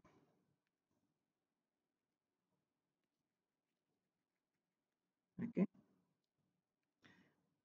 So, kenapa dia uh, dia pecahkan seperti ini? Kalau you lihat, uh, VC square over 2R, ini ya, dia nak tunjukkan yang ini sebenarnya. Okay. This is equivalent to PC. This is PC. Okay.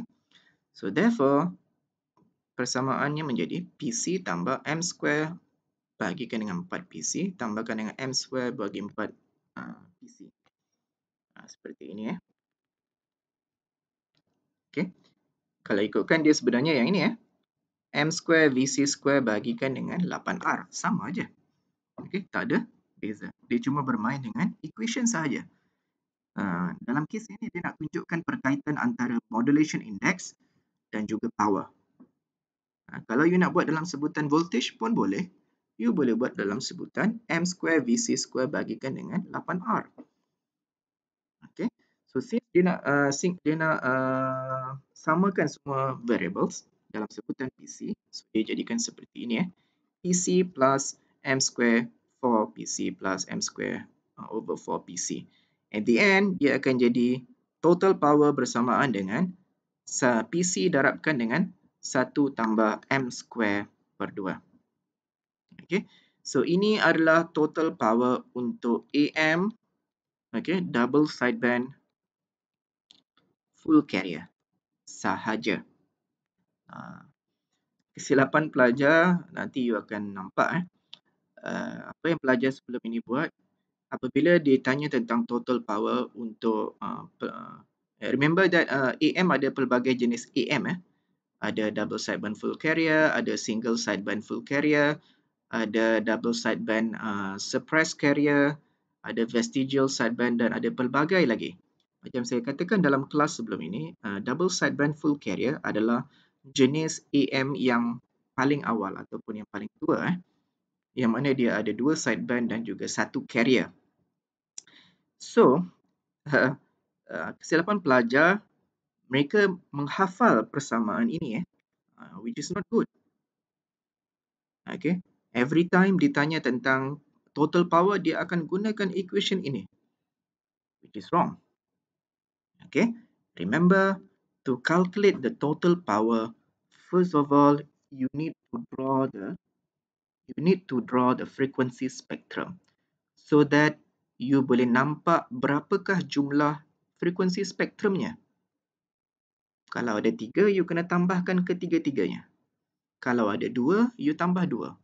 Kalau ada satu, you tambah satu sajalah. Ha. Remember to calculate the total power First of all, you need to understand the frequency spectrum.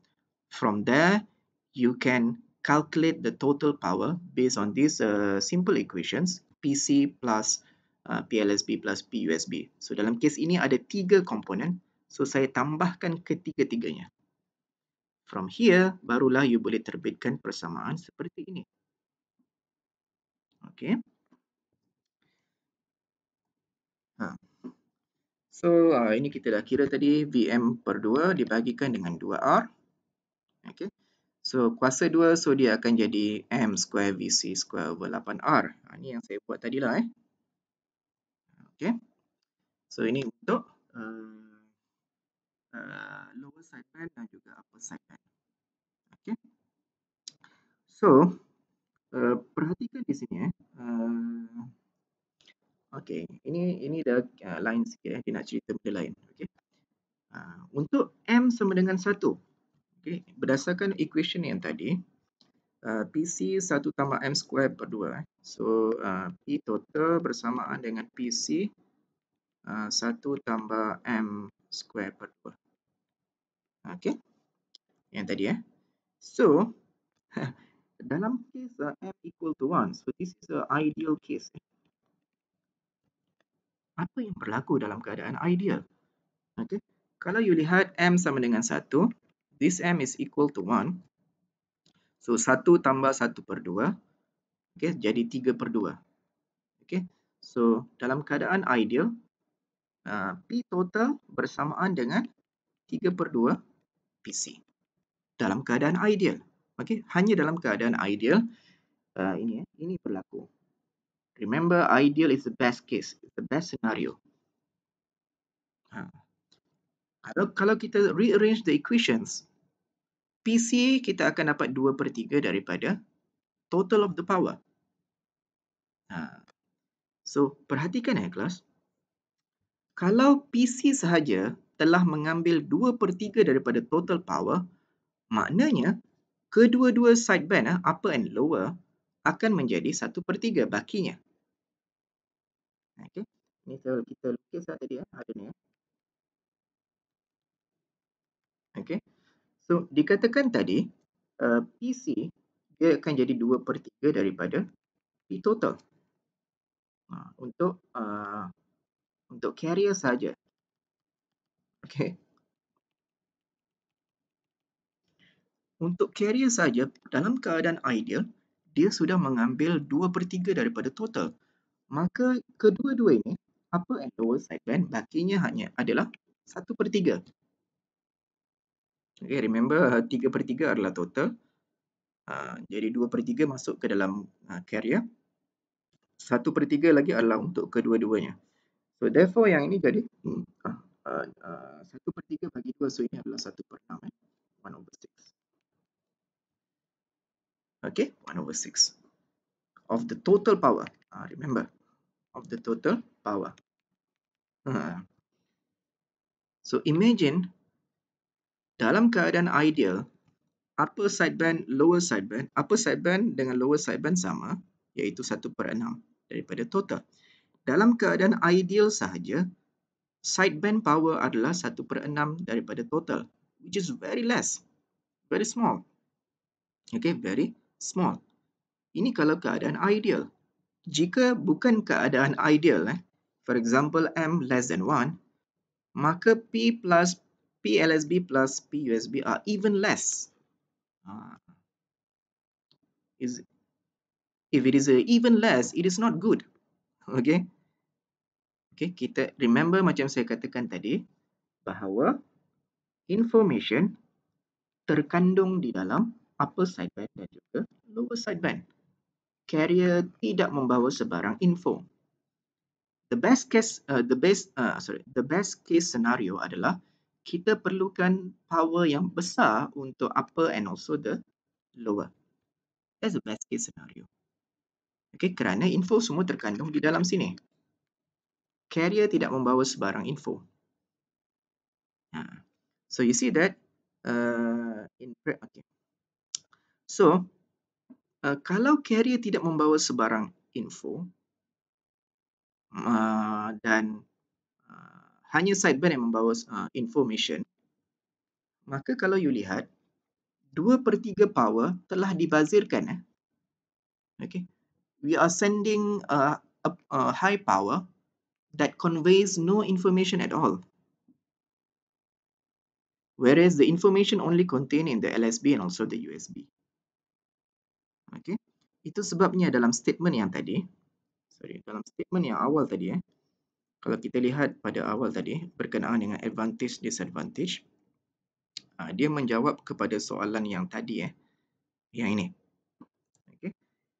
Tadi, persamaan tadi menjawab kepada statement yang ini. So, disadvantage of the double sideband full carrier, remember, double sideband full carrier, not all AM. Eh the disadvantage of the double sideband full carrier. Dalam you punya nota, AM adalah uh, kalau dia double sideband full carrier dalam you punya nota dia akan simply write as AM. Uh, cuma saya nak ingatkan pelajar jangan confuse. Dalam you punya nota jika disebut saja AM dia merujuk kepada double sideband full carrier. So dalam double sideband full carrier what happen is that it's going to be wasted in power because the carrier carried no information. 2 over 3 of the total power belongs to the carrier, which contain no information at all. Okay, so that's why it is a wasted of power. Another thing is that, dalam double sideband full carrier, kita menghantar duplicate uh, information. We are sending duplicate informations. And therefore, the bandwidth that we need at least 2 FM. okay we need at least 2 fm of bandwidth Okay, this is also among the disadvantage. Okay, we need larger bandwidth in order to send the signal. And it is a duplicated signal. Okay, so double sideband full uh, full carrier dia terdapat dua perkara yang uh, satu adalah wasted of power because we are sending more than enough power. Yang kedua adalah uh, bandwidth. We are using more than enough bandwidth to send the same information signal. Okay, that's the disadvantage of double sideband full carrier. Okay. Uh,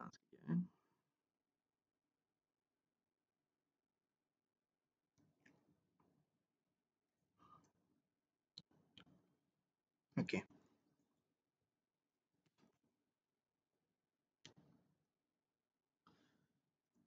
Okay, uh, so kita go through a simple example. Eh? Okay, a 400 carrier uh, is modulated to a depth of uh, 75%. Uh, calculated the total power in the modulated wave. So therefore, kalau you lihat di sini adalah, uh, so you diberikan M, okay, you diberikan M, So, you diberikan M bersamaan dengan uh, 75% ataupun M bersamaan dengan 0.75. Okay. Uh, this is a carrier power. So, this is PC. Okay. Calculate the total power. So, guna, uh, so ini adalah uh, So, ini adalah soalan AM. Eh. So, dia tak, sepatutnya dia uh, soalan ini menjelaskan this is a AM signal. Okay. Ataupun double sideband full carrier. Kalau double sideband full carrier, you boleh menggunakan persamaan total power seperti ini. Okay, PC uh, kurungan 1 plus uh, M square over 2. Perhatikan eh kelas, nilai M bukan dalam sebutan persen. Uh, jangan you letak 75 eh, habis. Okay. Uh, pastikan dia adalah dalam sebutan absolute value, so adalah 0.75. Okay, so therefore you akan dapat total power 512.5 watt. Ah, pastikan you tulis unit. Okay. Sudah ada jawapan ya. Okay. Uh, kita pergi yang ini sikit eh. An AM broadcast station's uh, peak carrier voltage of 2 kV. Ha, ni nampak eh. Uh, so saya selalu menggalakkan pelajar untuk terus uh, tulis uh, information yang penting eh supaya kamu tidak tersilap. Remember that AM, so this is a double sideband uh, full carrier. Uh, peak carrier voltage of 2 kilovolt, that means this is a VC. Amplitude modulated to an index of 75%, so this is M. Okay, so carrier telah di amplitude modulated dengan another signal, which is the test tone dengan frekuensi 2 kHz. So ini adalah frekuensi yang lagi satu iaitu message. The station broadcast frequency is 810 kHz. Apa benda ni? So signal yang dihantar adalah pada frekuensi 810. So this is the ha, ini apa? Ini adalah frekuensi FC. Ha, remember FC berada dalam julat AM band. Okay, so this is the FC frequency. Okay, compute the following upper and lower. Okay, F LSB plus F USB. So, uh, 810. Ini eh. So, FC sama dengan uh, 810. So, F LSB adalah FC tolak FM. So, 810 kHz tolakkan dengan 2 kHz. So, 808 kHz. F, uh, USB FC plus FM 810 plus 2. So, 812 kHz. Uh, peak modulation voltage. Uh, modulation voltage iaitu PM. Uh, remember saya tadi sebut juga sometimes uh, dalam you punya nota disebut juga modulating voltage. Uh, sama juga eh, dia adalah VM. Okay. So VM you boleh dapatkan daripada uh, nilai, uh, you dah tahu nilai M, you boleh uh, tahu nilai VM berdasarkan nilai modulation index. Okay. So VM is equal to MVC. So tadi uh, modulation index 0.75. VC adalah 2000 so you akan dapat 1.5 kilovolt. Okay. And then uh, peak lower and upper voltage VLSB and also the VUSB. Nah. So uh, VLSB adalah bersamaan dengan apa dia? M uh, VLSB remember that kalau kita lukis uh, ni eh. Okay. So ini adalah LSB. Ini adalah USB. Okay, ini adalah ni VM per 2 eh. Adalah VM per 2. VM per 2 ataupun boleh juga you buat MVC per 2. Sama aja. Okay, boleh juga you buat MVC per 2. Okay, ini masih kekal VC. Okay, ini adalah FC. So MVC per 2 M uh, sama dengan uh, MVC tadi kita dapat 1.5 so MVC 1.5K dah bahagikan dengan 2 so dapat 0.75 so upper and lower is the same so it is equal to 0.75 for the upper. Okay the maximum signal amplitude Vmax. Remember Vmax is equal to VC plus Vm. Okay VC plus Vm uh,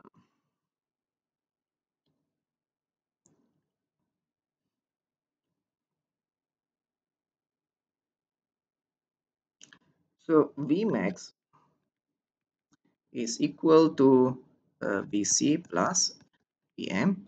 So VC adalah bersamaan dengan 2 kV pluskan dengan Vm adalah 1.5 kV. So this is equal to 3.5 uh, kV. Nah, ini dia buat confuse sikit eh, kalau buat cara ni. Okay. Uh, kalau saya, saya buat VC plus Vm. So terus dapat 3.5 kV. Okay.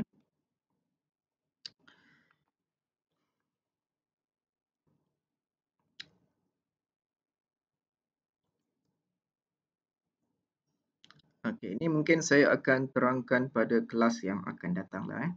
Sekejap eh. Mungkin kita ada beberapa.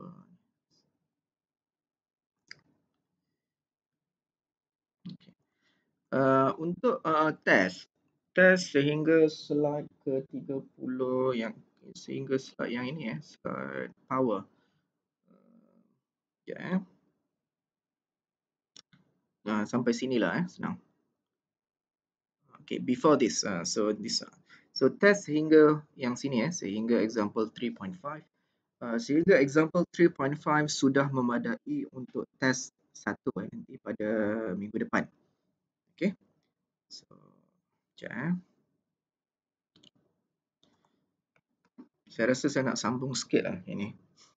Okay mungkin ya so next week kita boleh revision sikit eh. Okay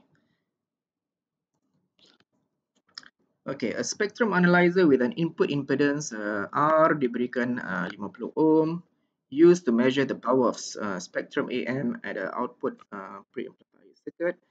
The AM signal has been modulated with a sine wave. Okay, the effective power PC is 745 uh, milli milliwatt. PUSB and PLSB is uh, 125 milliwatt. Uh, milliwatt. Ha, daripada sini you dah boleh kira total power. PC tambah PUSB tambah PLSB. So you akan dapat P total. Okay. So ini sama dengan PC plus uh, PLSB uh, plus PUSB. Okay, selesai. Ha, ini ada solutionnya. So dapat 995 milliwatt. Okay. And then what? Uh, the peak carrier voltage.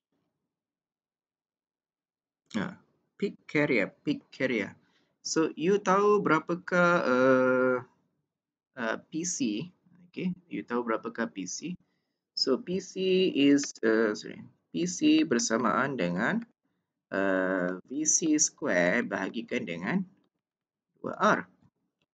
Okay, so uh, VC bersamaan dengan uh, square root of Uh, PC darabkan dengan 2R.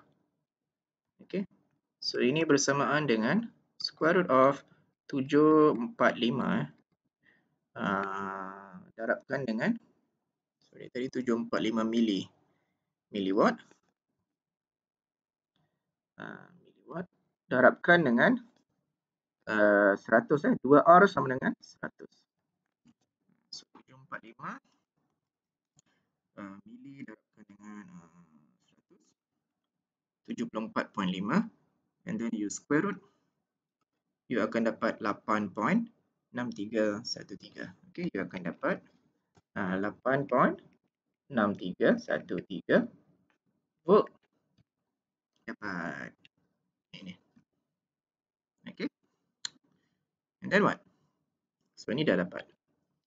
Modulation index m dan juga percentage so dia suruh cari uh, absolute value dan juga dia punya percentage okay so remember m is equal to uh, M is equal to Vm over Vc. Okay. So, uh, okay. So, kita dah tahu berapa Vc, kita tak tahu berapa M. Uh, kita tahu dia punya ni tak. Uh, dalam kes ini, dia menggunakan uh, persamaan power. Eh. Okay, so daripada persamaan power tadi, daripada persamaan total power. So since kita dah tahu PC, kita dah tahu berapa nilai uh, M. M kita tak tahu eh, M tak tahu. Kita tahu total power, kita tahu PC power. Carrier power. So daripada sini kita boleh adjust the equations uh, in order to find the M based on PT and PC, eh, total power and also the carrier power. Okay, so masukkan dalam equation so you akan dapat 0. Ini total power eh, total power carrier power. So daripada calculations ini, uh, you akan dapat 0.8192. No unit. In order to find the percentage, you need to multiply with 100%. Kalau multiply with 100%, dia akan jadi 81.9%. Okay.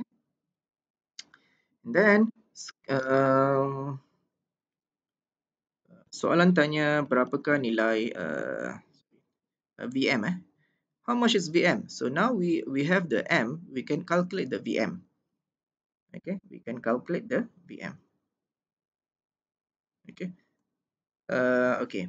So VM sama dengan uh, M PC. Okay.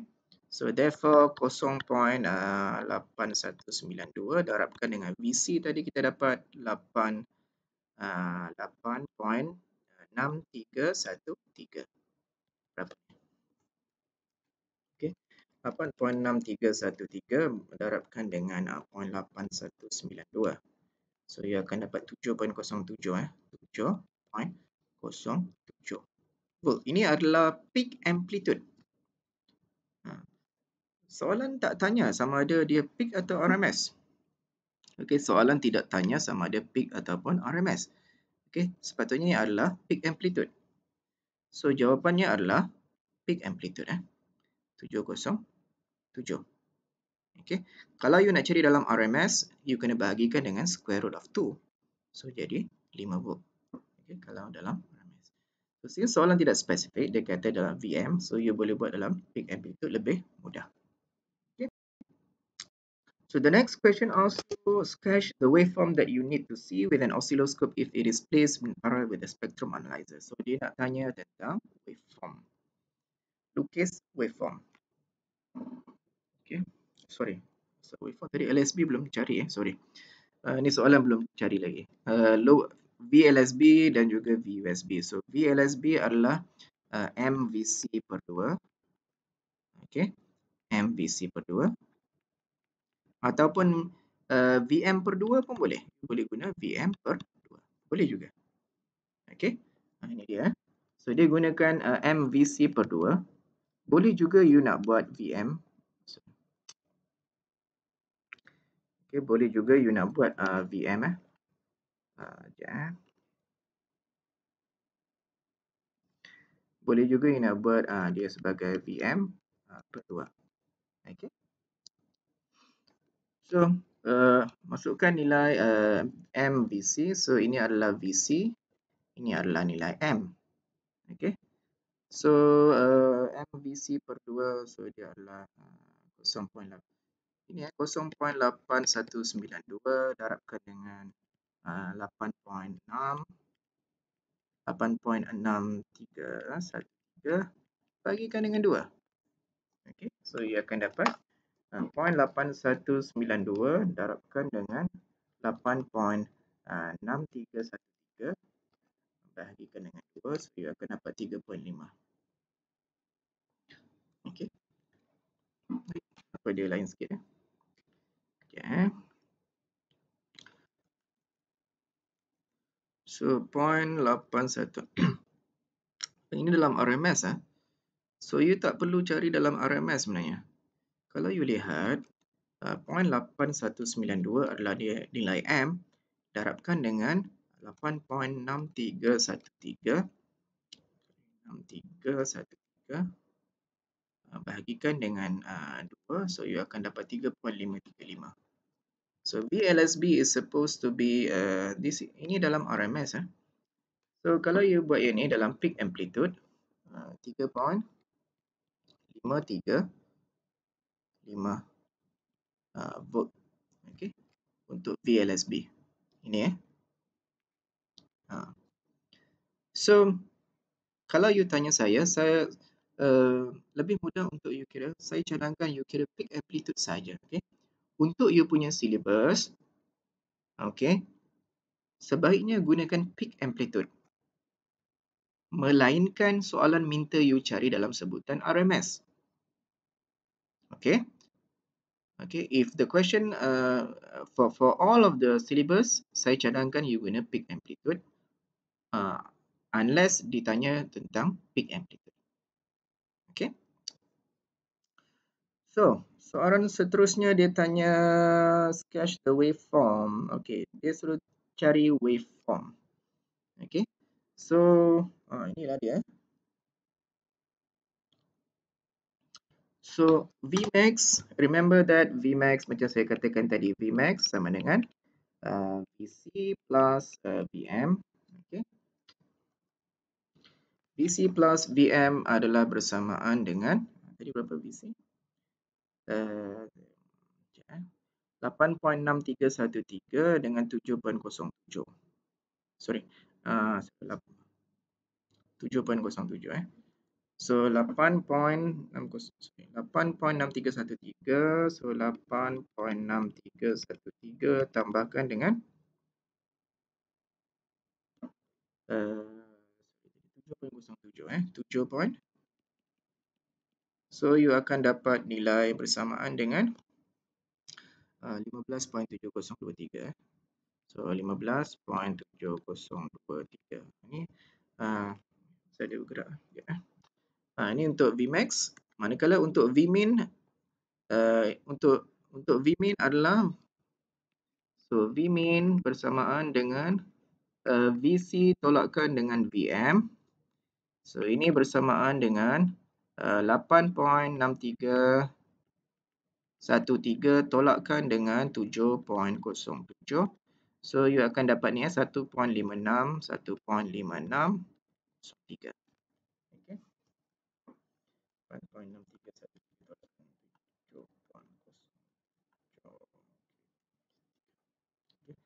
Ha, ini ini jawapan saya ikut ni ya. Ha. Okey, so you akan dapat 1.56 lah eh. So now you know the Vmax and you also know the Vmin. So you boleh sketchkan dia punya uh, uh, bentuk uh, waveform. Okay, you boleh sketch dia punya bentuk waveform.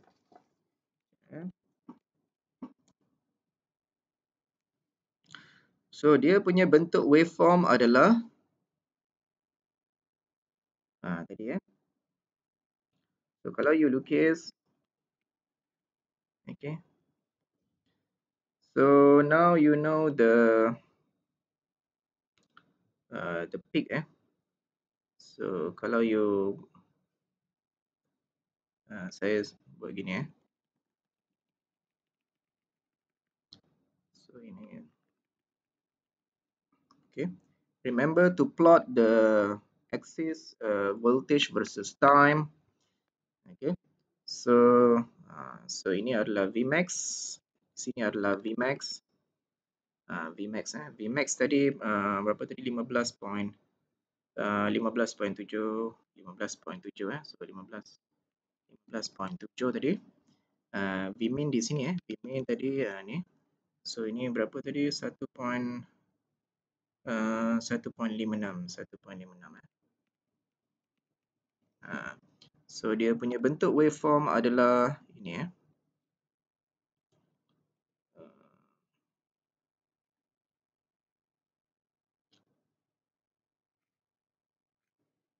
Okay. Okay, so di sini dia punya, ni you boleh plot untuk Vmin di sini negatif 1.56. Di sini adalah uh, uh, negatif 15.7. Okay. Uh, uh, gambar aja saya tak berapa cantik. Eh. So, apabila you melukis, pastikan you plot uh, axis dan juga you plot uh, at least you ada Vmax dan juga Vmin. Okay. So, dapatlah bentuk waveform.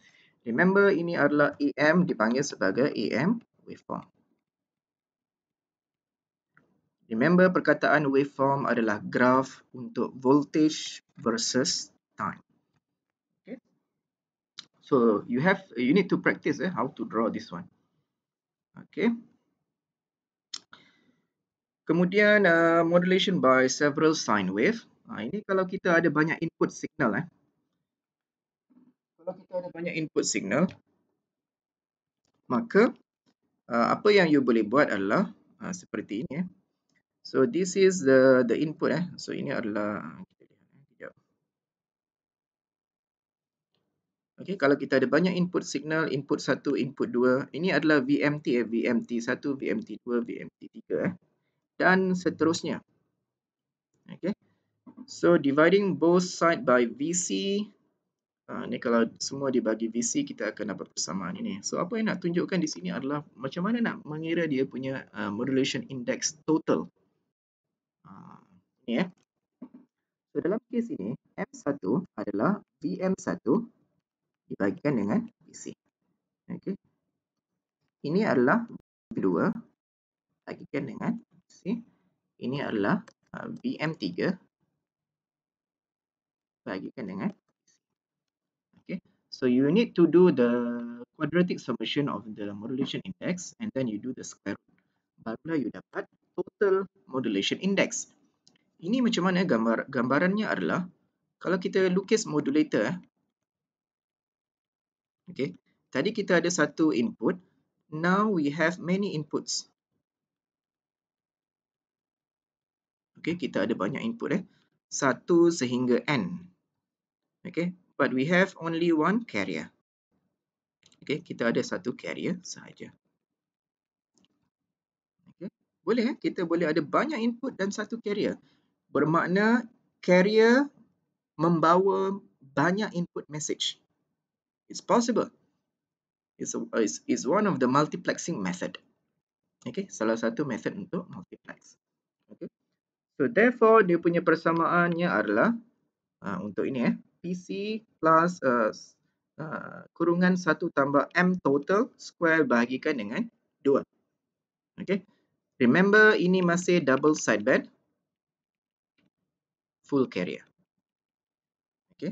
So class, kalau you ada dua input eh, remember setiap input akan menghasilkan dua sideband pada output. Okay, this is the FC. Tadi kita lihat ini eh, FC plus FM. Ini ada uh, FC minus FM. Ini kalau satu input. Kalau kita ada lebih daripada satu input, ini saya tunjukkan kalau kita ada dua input. Eh. Ha, ini eh. Ada lagi di sini. This is FC plus 2 FM.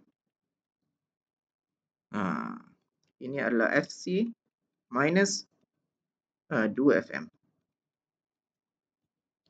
Kalau kita ada lagi input, tiga, uh, tiga input, ha, dia ada kat sini lah. So ini jadi FC plus 3 FM. Sini jadi, sini pun ada satu lagi eh. Uh, FC minus 3 FM. So every input, every input message will produce two output sideband. Sepasang. Okay. dia masih dalam kategori double sideband full carrier. Okay. So daripada persamaan asal untuk total power double sideband full carrier, remember double sideband full carrier. Daripada persamaan power uh, berdasarkan Ohm's law, I, uh, PT is IT square R, PC is IC square R. Okay. So dalam sebutan I, yeah, R you can cancel out. So IT over IC is equal to this one and 1 plus M square 2, M square kuasa 2 dibagikan dengan 2. Okay. Ataupun boleh juga you buat dalam sebutan total modulation index. Uh, IT over IC 1 plus MT square over 2. Again, ini masih double sideband full carrier. Okay. Example. Antenna uh, transmit the power of uh, this one. So, uh, transmit 8 ampere when only the carrier is sent but in increase to this one uh, when the carrier is modulated by a single sine wave. So kalau you lukis eh uh, antena transmitter okay, gini eh. Apa maksud dia? So remember that kita ada carrier di sini eh. Okay, we have the uh, PC carrier power di sini. Uh, di sini adalah uh, PAM lah eh total. Okay. So dia uh, dalam yang case yang pertama dia kata kalau you lihat uh, antena okay dia transmit sebab blue color lah uh, green color. Yeah. Okay.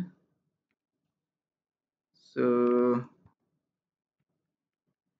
so antena transmit a power 8 ampere okey 8 ampere pada ketika carrier sahaja ada no input. Tidak ada input. Kemudian ada input. Okay carrier is modulated with the input. Then the second time ada input. Dan power bertambah menjadi 8.93 ha. sorry. 8.93 uh, ampere. Uh, find the motion modulation of the antenna current when the percentage. Okay, find the percentage of the modulation and the antenna current when the percentage modulation changes to 0.8. So ada dua soalan di sini eh. Okay. So perhatikan uh, situasi soalan ini. Mula-mula tiada input, maka you hantar carrier sahaja.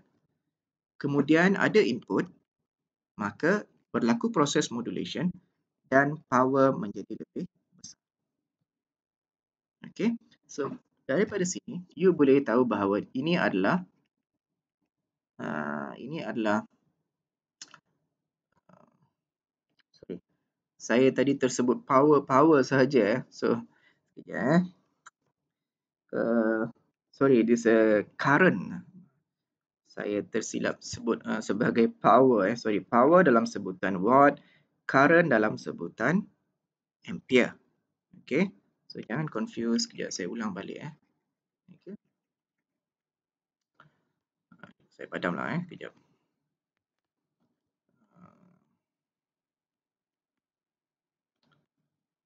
Okay.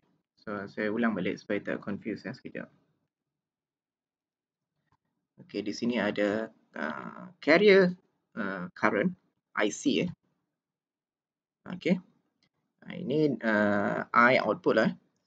And then, uh, okay. Situasi pertama, apabila tiada input, maka output yang di sini yang dikeluarkan ke, ke antena adalah sebanyak 8 ampere. Okay. And then, ada input, berlakunya input, adanya input masuk ke dalam transmitter. Okay. Then, berlakunya modulations, maka keluaran daripada uh, current current keluaran daripada transmitter ke antena menjadi 8.9 8.93 ampere. Okey 8.93 ampere. Ha okey.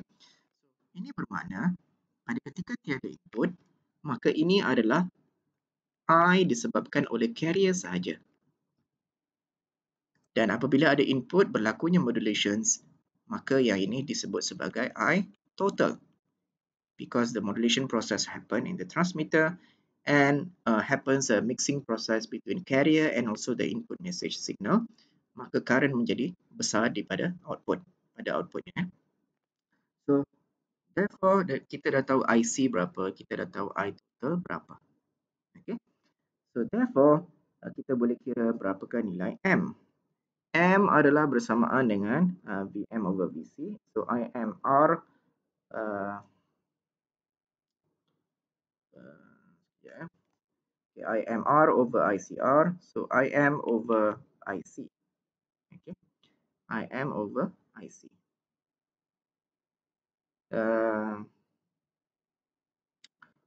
ini sepatutnya dia ber, dia gunakan uh, I total sepatutnya. Uh, IM 8. Uh, ada kesilapan sedikit di sini. Eh. Okey, sepatutnya ia menggunakan persamaan yang ini eh, IT bagi IC eh.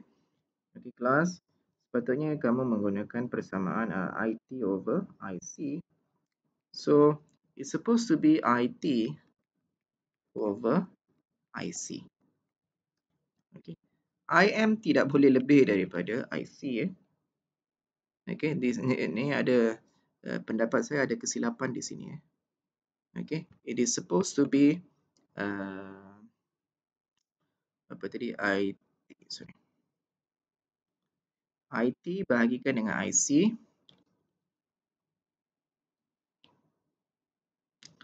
Sekejap. First of all, you kena cari berapakah nilai apa soalan ni? Ya. Percentage of the modulation. So, IM bahagikan dengan I see I am. Uh, I am bahagikan dengan IC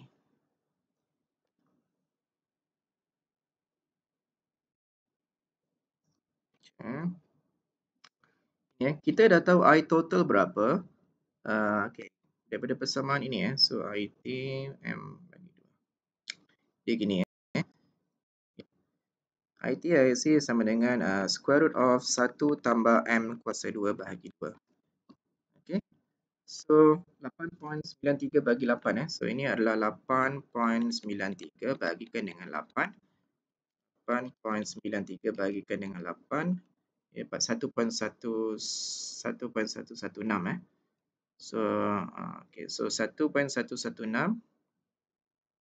1.116 okay, sama, sama dengan uh, square root of 1 tambah m bahagikan dengan 2. Okay. So, kuasa 2 ni 1.116 kuasa 2. Uh, so, you akan dapat 1.2454 uh, 5 sama dengan uh, 1 tambah m kuasa 2 bagi 2. Okay. So, tolakkan dengan 1. Okay kalikan dengan 2 uh, punca kuasa you akan dapat bersamaan dengan M bersamaan dengan 0.7 ini yang saya dapat eh. okay. so 1 tadi 1.245 tolakkan dengan 1 okay, kalikan dengan 2 uh, 0.49 and then you punca kuasa you akan dapat 0.7 okay. M sama dengan 0.7. Okey. Uh, saya cadang abaikan sahaja jawapan di sini. Ya. Abaikan. Ya. Okey. Itu soalan yang pertama. Uh. Macam mana kalau uh, dia naik? Uh, soalan yang kedua adalah uh, antena current. Berapakah antena current? Antena current adalah total current. Apabila percentage modulation changes to 0.8. Ha, macam mana kalau M ni jadi 0.8? So IT berapa? How much? Ha, berapa ni? Okay.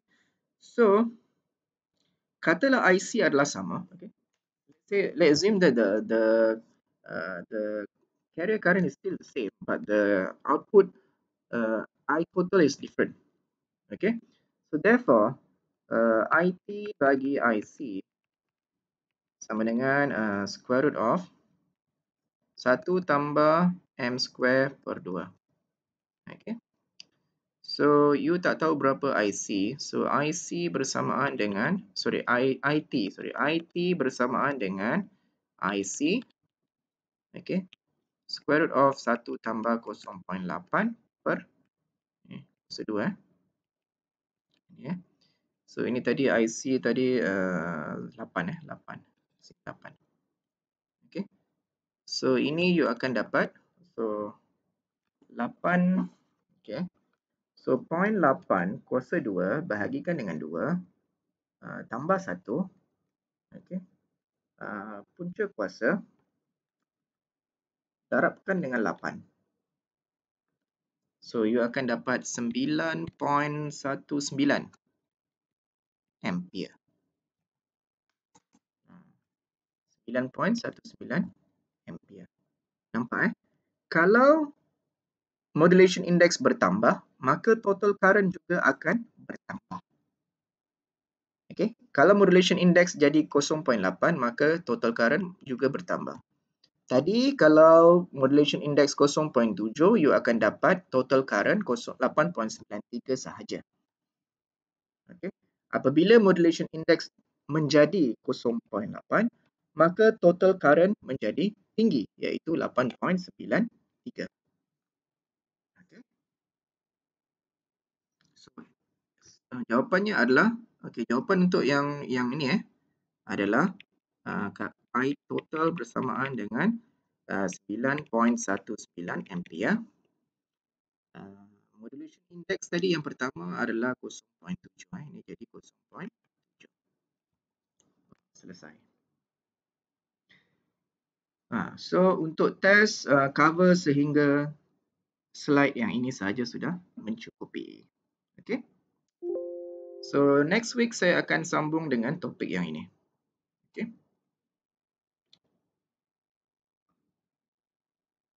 So stop.